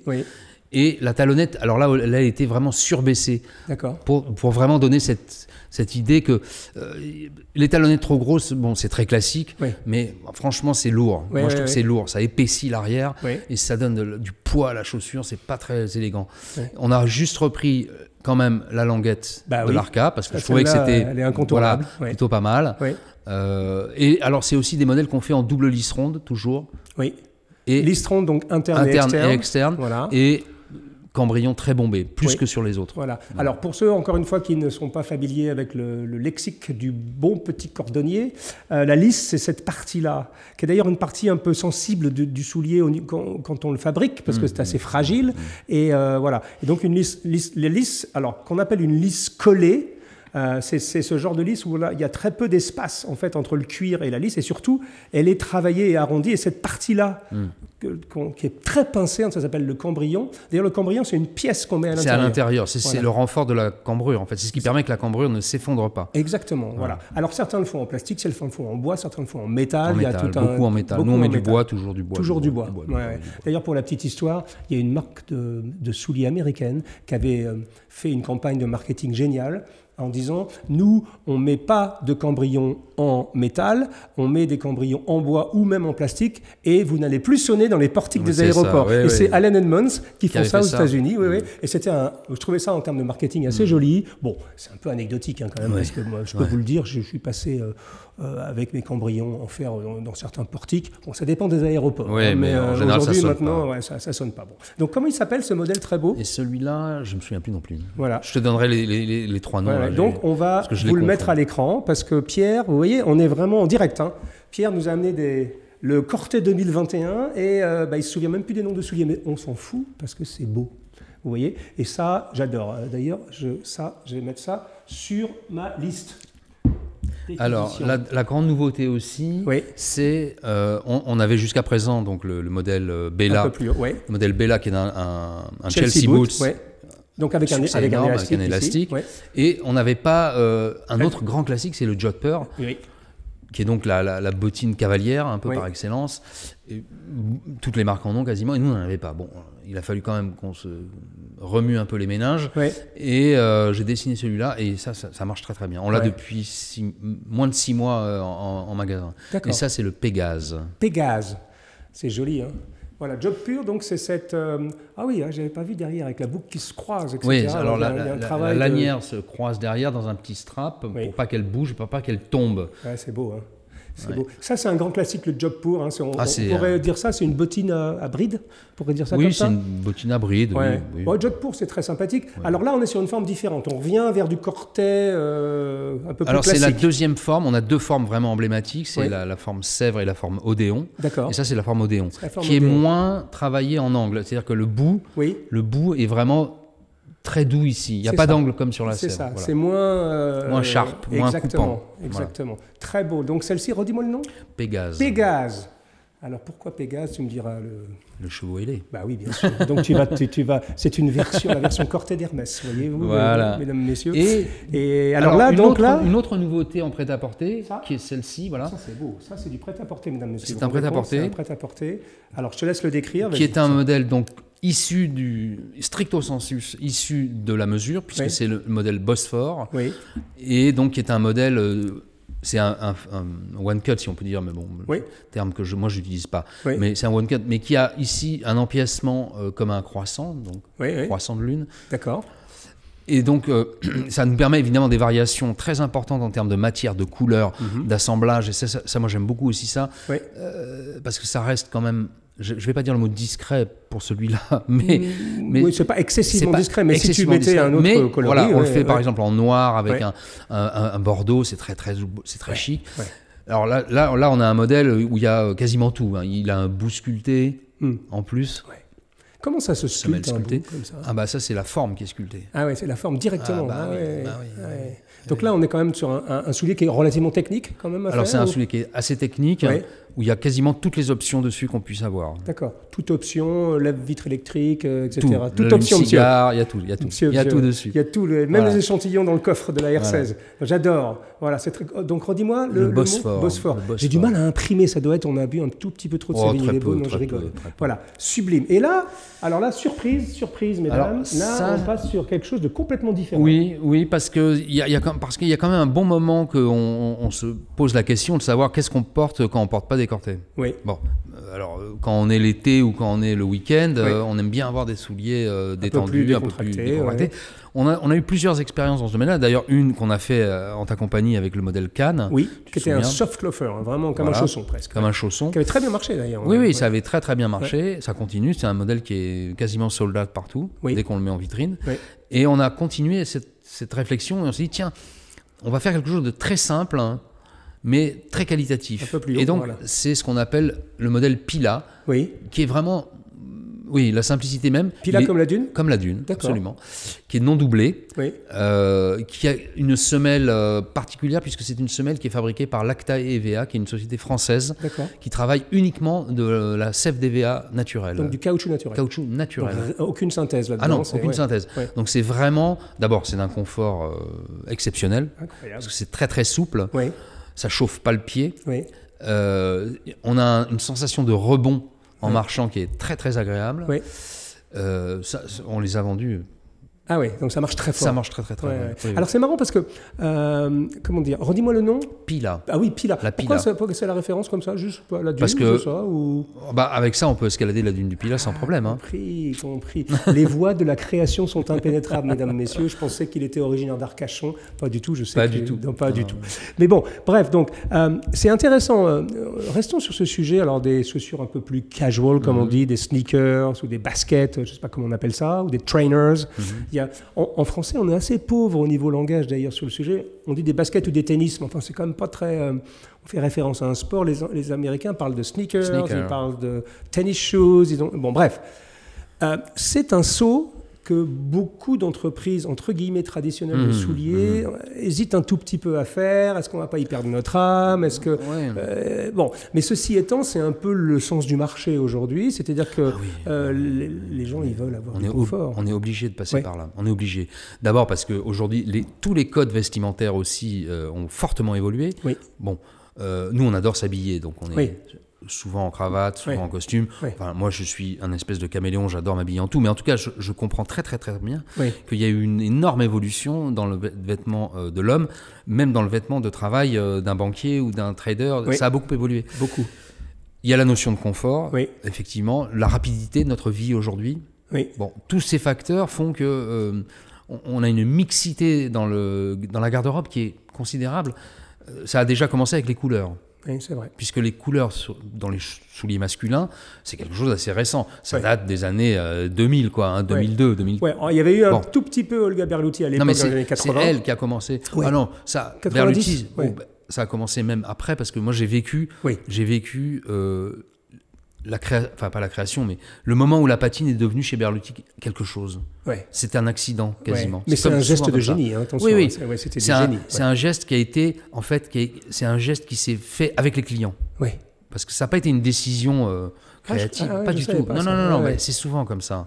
C'est souvent comme ça. Et donc, euh, pour la petite histoire, Berluti, donc, euh, à, une, certaine période, ont eu le coup de génie. Je le raconte en 5 secondes parce que mm. c'est important de le comprendre. Moi, la première fois, j'avais pas les moyens, je l'écris dans mes bouquins, j'allais lécher les vitrines rue Marbeuf parce que les, les souliers étaient magnifiques et surtout, il y avait on a l'impression d'avoir un, truc en vieux bois. Oui, en, un vieux hein meuble. Un vieux meuble, tu sais, ce, cet escarpin all cut, un, comme un vieux meuble. je dis, mais comment ils font ces gens-là? Non, mais ça, c'est pas eux qui faisaient ça, c'est la lumière. Mais je sais, je sais, mais j'ai découvert ça bien bah plus tard. Parce qu'en fait, euh, d'ailleurs, je vais vous donner un petit point technique c'est qu'une vraie patine, généralement, si on veut imiter la patine du temps et la patine d'un soulier en vitrine, elle est plus claire sur le bout et plus foncée ici. Alors que hmm. dans les patines modernes, on a tendance à faire l'inverse. Et euh, ça m'a été expliqué par quelqu'un qui est un ancien de chez vous. Bah, Stéphane Villette. Stéphane Villette, qui est un roi de la patine. Ah, c'est un, maître. Hein. C'est un ah artiste de la patine et qui m'a expliqué que les, les, vraies patines du temps faisaient que le bout était un tout petit peu plus clair. Et puis c'est les parties saillantes. Exactement, exactement. Donc pour revenir à Berluti, je me souviens, moi, de dévorer, j'y allais le dimanche parce que euh, tu vas rester une heure et demie en, hmm. semaine devant une vitrine, tu as l'air d'un con. Hmm. Et moi, euh, j'avais pas les moyens du tout, mais je, trouvais ça, je l'ai regardé sous toutes les coutures, c'est le cas de le dire, il n'y en avait pas beaucoup sur, euh, sur le modèle Alessandro. Et je me souviens, 4 ou 5 ans plus tard, euh, j'ai un de mes clients qui me dit Viens, Hugo, je vais m'acheter une paire de Berluti, viens avec moi. moi, je dis ah, bah, Bien sûr, je viens avec toi, je, viens sur, je monte sur ton porte-bagages s'il si, faut. Et, il vient, et là, je découvre le système de vente qui est Ah, monsieur, c'était du génie. Hmm. Même s'ils ont rajouté un petit peu, mais hmm. c'était du génie. Ah, monsieur, on vous vend le, la chaussure, mais il n'y a pas de patine. On vous vend la chaussure en, à patiner, donc en cuir blanc ou en hmm. cuir beige, peu importe. Et je trouvais ça génial. Pourquoi?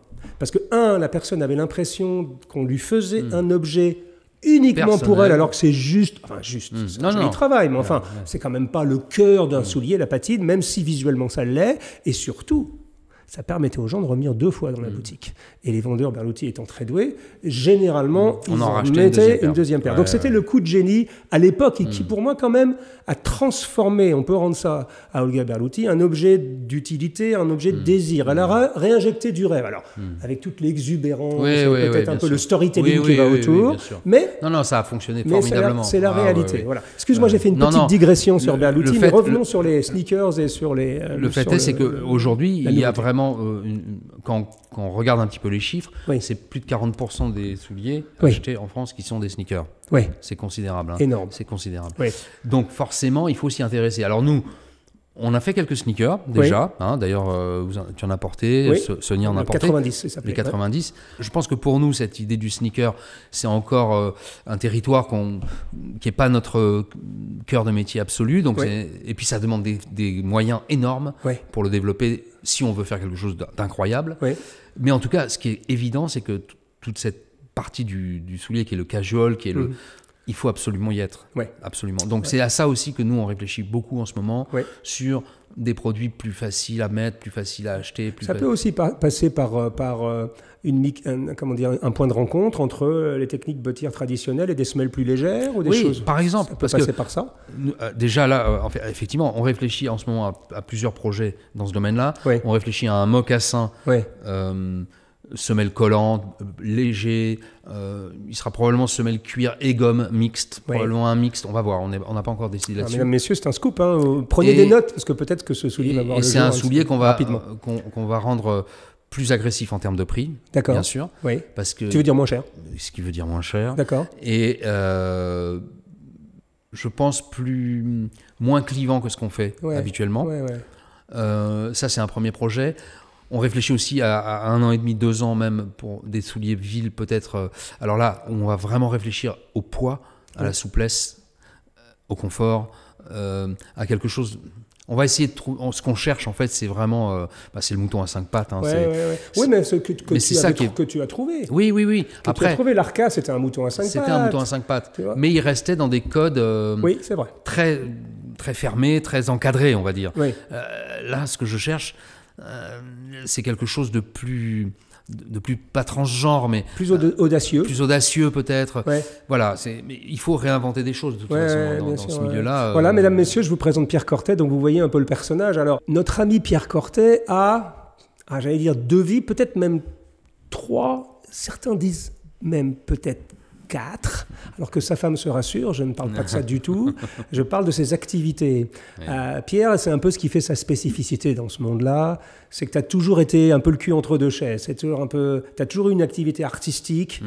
euh, tu, es, tu fais de la peinture, tu fais des collages, tu, tu fais des installations, mm. tu fais de la céramique. Raconte-nous un petit peu cette vie un peu parallèle, bah, c'est un besoin irrépressible chez toi Oui, c'est un besoin, c'est une nécessité. Voilà, c'est ce qu'on, moi j'aime dire, c'est ça, c'est une nécessité, c'est-à-dire que je peux pas vivre sans le faire. Oui. Et euh, ça me nourrit, ça me, ça m'oxygène la tête. Oui. Euh, je fais ça depuis longtemps quand même. Hein. Alors c'est vrai que depuis, depuis 5-6 ans, j'ai accéléré vraiment. Fortement. Euh, donc j'ai une activité d'artiste, euh, peintre, sculpteur qui fonctionne bien, puisque voilà, j'arrive à exposer 4 ou 5 fois par an. hors Covid, hein, bien sûr. Puisque là, on Mais enfin, malgré tout, j'ai quand même une expo en ce moment, j'ai quand même des projets d'expo, donc ça c'est plutôt pas mal. évidemment, la céramique c'est revenu récemment, parce que je viens de. En fait, je viens de là au départ. Ouais, parce que ma tante euh, Valentine Schlegel, euh, qui m'a donné le virus du cuir, était quand même sculpteur aussi, céramiste. Et donc, j'ai évidemment, en même temps que je faisais du cuir, je faisais de la céramique avec elle. je suivais des cours de modelage à l'atelier des arts décoratifs pour les enfants euh, à l'époque.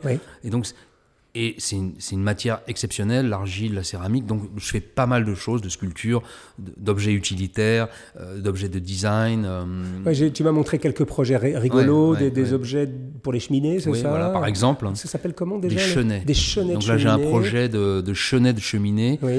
Euh, avec une société suédoise assez incroyable. D'accord. Donc voilà, ça c'est pour moi, c'est. Euh, euh, en fait, j'ai besoin de, faire beaucoup de choses différentes. Hmm. Et tu as besoin de sortir du monde stricto sensu de la chaussure. Ah ça a toujours été ton. Ah oui, oui, oui, oui, Je suis jamais, j'ai jamais été dégoûté. Ah, mais j'adore. Là, on travaille sur ce projet de mocassin, c'est une passion. On se régale. Euh, mais en même temps, en fait. En fait, moi, je, je fais rien en dilettante. J'ai horreur du mot dilettante. Donc, dès que je m'intéresse à quelque chose, là maintenant, j'ai un peu limité les choses, mais toutes les choses auxquelles je m'intéresse, en fait, j'ai envie de les faire professionnellement, avec la même ardeur professionnelle euh, que euh, le mot hobby pour moi c'est ah, j'aime pas. Euh, Alors c'est marrant ce que tu dis et on va conclure sur deux trois idées ensemble pour pour euh, boucler hmm. cette belle conversation. Encore une fois, mais on pourrait rester euh, des heures. D'ailleurs, je vais vous le dire, hein, on va rester. On va continuer. on va continuer, hors caméra. Mais euh, tu sais que j'ai reçu à cette table bah, la semaine dernière la famille Bonnet, hmm. que tu connais ah bah, bien, dont tu portes les lunettes. Grands copains, des grands amis. Ah bah oui. Ah bah Christian, Franck et Steven Bonnet. On a reçu à cette table Stéphane Jiménez, qui hmm. d'ailleurs t'a rendu un, vibrant hommage à cette occasion. On a reçu à cette table la semaine dernière un jeune chef étoilé Baptiste Renoir, mhm. euh, qui a eu sa première étoile pendant le Covid, ce qui est quand même une performance exceptionnelle, mhm. qui est un des garçons qui a fait la émission Top Chef, mais qui est un garçon vraiment extrêmement intéressant, qui est venu cuisiner chez nous. Euh, pour nous montrer des plats mhm. euh, qu'on peut peut-être apprendre à faire et puis surtout parler de sa passion, etc. Et je remarque quand même qu'il y a alors, j'allais pas faire une espèce de, encore une fois, de psychologie ou de sociologie de comptoir, mais il y a quand même des, des points communs entre tout ça. C'est que quand je parle au bonnet, mhm. à Christian, mais tous, Franck et Steven, au bout de 4 minutes, il me regarde les yeux, il commence à me toucher les lunettes, il commence à, me bouger les trucs, il commence à, il regarde mon réalisateur Cosma, s'il lui met des lunettes dessus, c'est des cinglés. Hmm. C'est-à-dire qu'ils sont complètement habités par ce qu'ils font, mais ils sont, c'est pour ça que on n'est pas loin de l'art quand même, parce que euh, il m'expliquait, bon, un soulier c'est le pied, mais euh, là c'est au milieu du visage. Euh, l'artisanat, moi, ce que souvent je le dis et puis je, je, le pense vraiment. En fait, un métier comme l'artisanat, c'est pas de l'art, mais c'est la façon de le faire qui est artistique. c'est le comportement qu'on a, c'est le regard qu'on a sur les gens, la bienveillance, ce côté aussi où moi j'adore mes clients. La première chose, il faut aimer les gens pour qui tu travailles. Si tu les aimes pas, c'est compliqué. Hmm. Et même quelqu'un avec qui le rapport au début va être tendu, il faut que tu apprennes à l'aimer. Et à ce moment-là, tu lui fais quelque chose d'exceptionnel. Parce que sinon, c'est compliqué. Et c'est un peu peut-être la, la, fenêtre un peu artistique sur l'artisanat qui est celle-là. C'est-à-dire de faire la chose avec art, c'est-à-dire sans filet, sans, sans idée préconçue, sans, sans retenue sans. Ça fait plaisir, hein, Pierre, d'entendre ça en 2021. C'est ça qui est important, en fait, parce que le plaisir, en réalité, il est partagé. Oui. Parce que tu parlais d'un cuisinier tout à l'heure, enfin d'un chef, pardon, pas d'un cuisinier, d'un chef. Le bonheur d'un chef, il est le même que le mien quand je livre, il est le même que le sien quand il pose son assiette sur la table. C'est-à-dire, c'est le plaisir dans les yeux de la personne. Et c'est ça, c'est un mutuel échange en fait. Donc c'est un plaisir partagé en fait. Mais il faut le faire avec le cœur, il faut le faire avec toutes tes tripes quoi. Mm. Ça fait du bien d'entendre ça, euh, mesdames, messieurs. Euh, en 2021, on est dans une civilisation qui est devenue euh, moi, j'appelle ça personnellement le grand affadissement général. Oui, oui. C'est-à-dire qu'on est de. Un amollissement. exactement, un, un, ramollissement même. C'est une espèce de, de, moment où. Et, nous, ici, on, milite beaucoup sur cette chaîne, sur notre blog, dans nos livres. On pense que la beauté est, une, est même presque un mot qu'on n'utilise plus ou qu'on a du mal à positionner dans le langage. C'est presque ringard. C'est presque ringard. Alors que nous, eh ben, mesdames, messieurs, j'ai une bonne nouvelle pour vous. Je suis ringard et je suis très fier de l'être parce que moi, je milite pour ça. Mm-hmm. Je milite sur le fait qu'on a autant besoin de beauté autour de nous que de nourriture dans l'assiette. On a autant besoin d'inspiration esthétique que, euh, bon, peut-être que de vin. Bon, moi j'ai besoin des deux, personnellement. Mm-hmm. Mais on a autant besoin. Et cette chose-là, euh, je parle souvent du livre de François Cheng, qui sont, je ne sais plus si c'est 5 ou 6 ou 4 ou 7 réflexions sur la beauté, cet académicien incroyable d'origine chinoise, etc. C'est le cas aussi de Lorenzo Cifonelli, qui était à ta place l'année dernière, en, plein cagnard, au mois hmm. d'août, je me souviens. Pareil, tous ces gens euh, qu'on aime recevoir ici, ces artisans exceptionnels, ils participent, selon moi, à quelque chose qui est un peu plus grand qu'eux-mêmes. Ils participent à la beauté de ce hmm. monde, ils participent à l'esthétique. Après, qu'on ait les moyens ou pas, de venir chez toi, d'aller chez Lorenzo, euh, d'aller chez Bonnet, c'est un autre sujet. Un autre sujet Mais euh, tu, euh, quel que soit le portefeuille que vous avez, vous pouvez quand même vous intéresser à ça. Et moi, je sais que j'invite. c'est vrai que le gamin qui est étudiant, il a peut-être pas les moyens d'aller chausser chez toi tout de suite, mais peut-être que plus tard, il aura les moyens d'y aller. Et peut-être que voilà. Mais cette, cette, inspiration, on a un besoin euh, presque autant que de respirer, d'avoir de la mmh. beauté autour de mmh. nous. Et je trouve que les gens comme toi, comme tous les invités exceptionnels qu'on a eu dans cette émission, y participent. Donc Pierre, c'est une fois de plus un... On pourrait parler des heures, on va s'arrêter là. Merci de ta visite. Ah bah, merci de ton invitation, moi, ça fait vraiment plaisir. Ça faisait dix ans qu'on n'avait pas causé ensemble dans un micro. Hein, eh, on, va, essayer de se voir avant 2031 quand même. Hein. bon.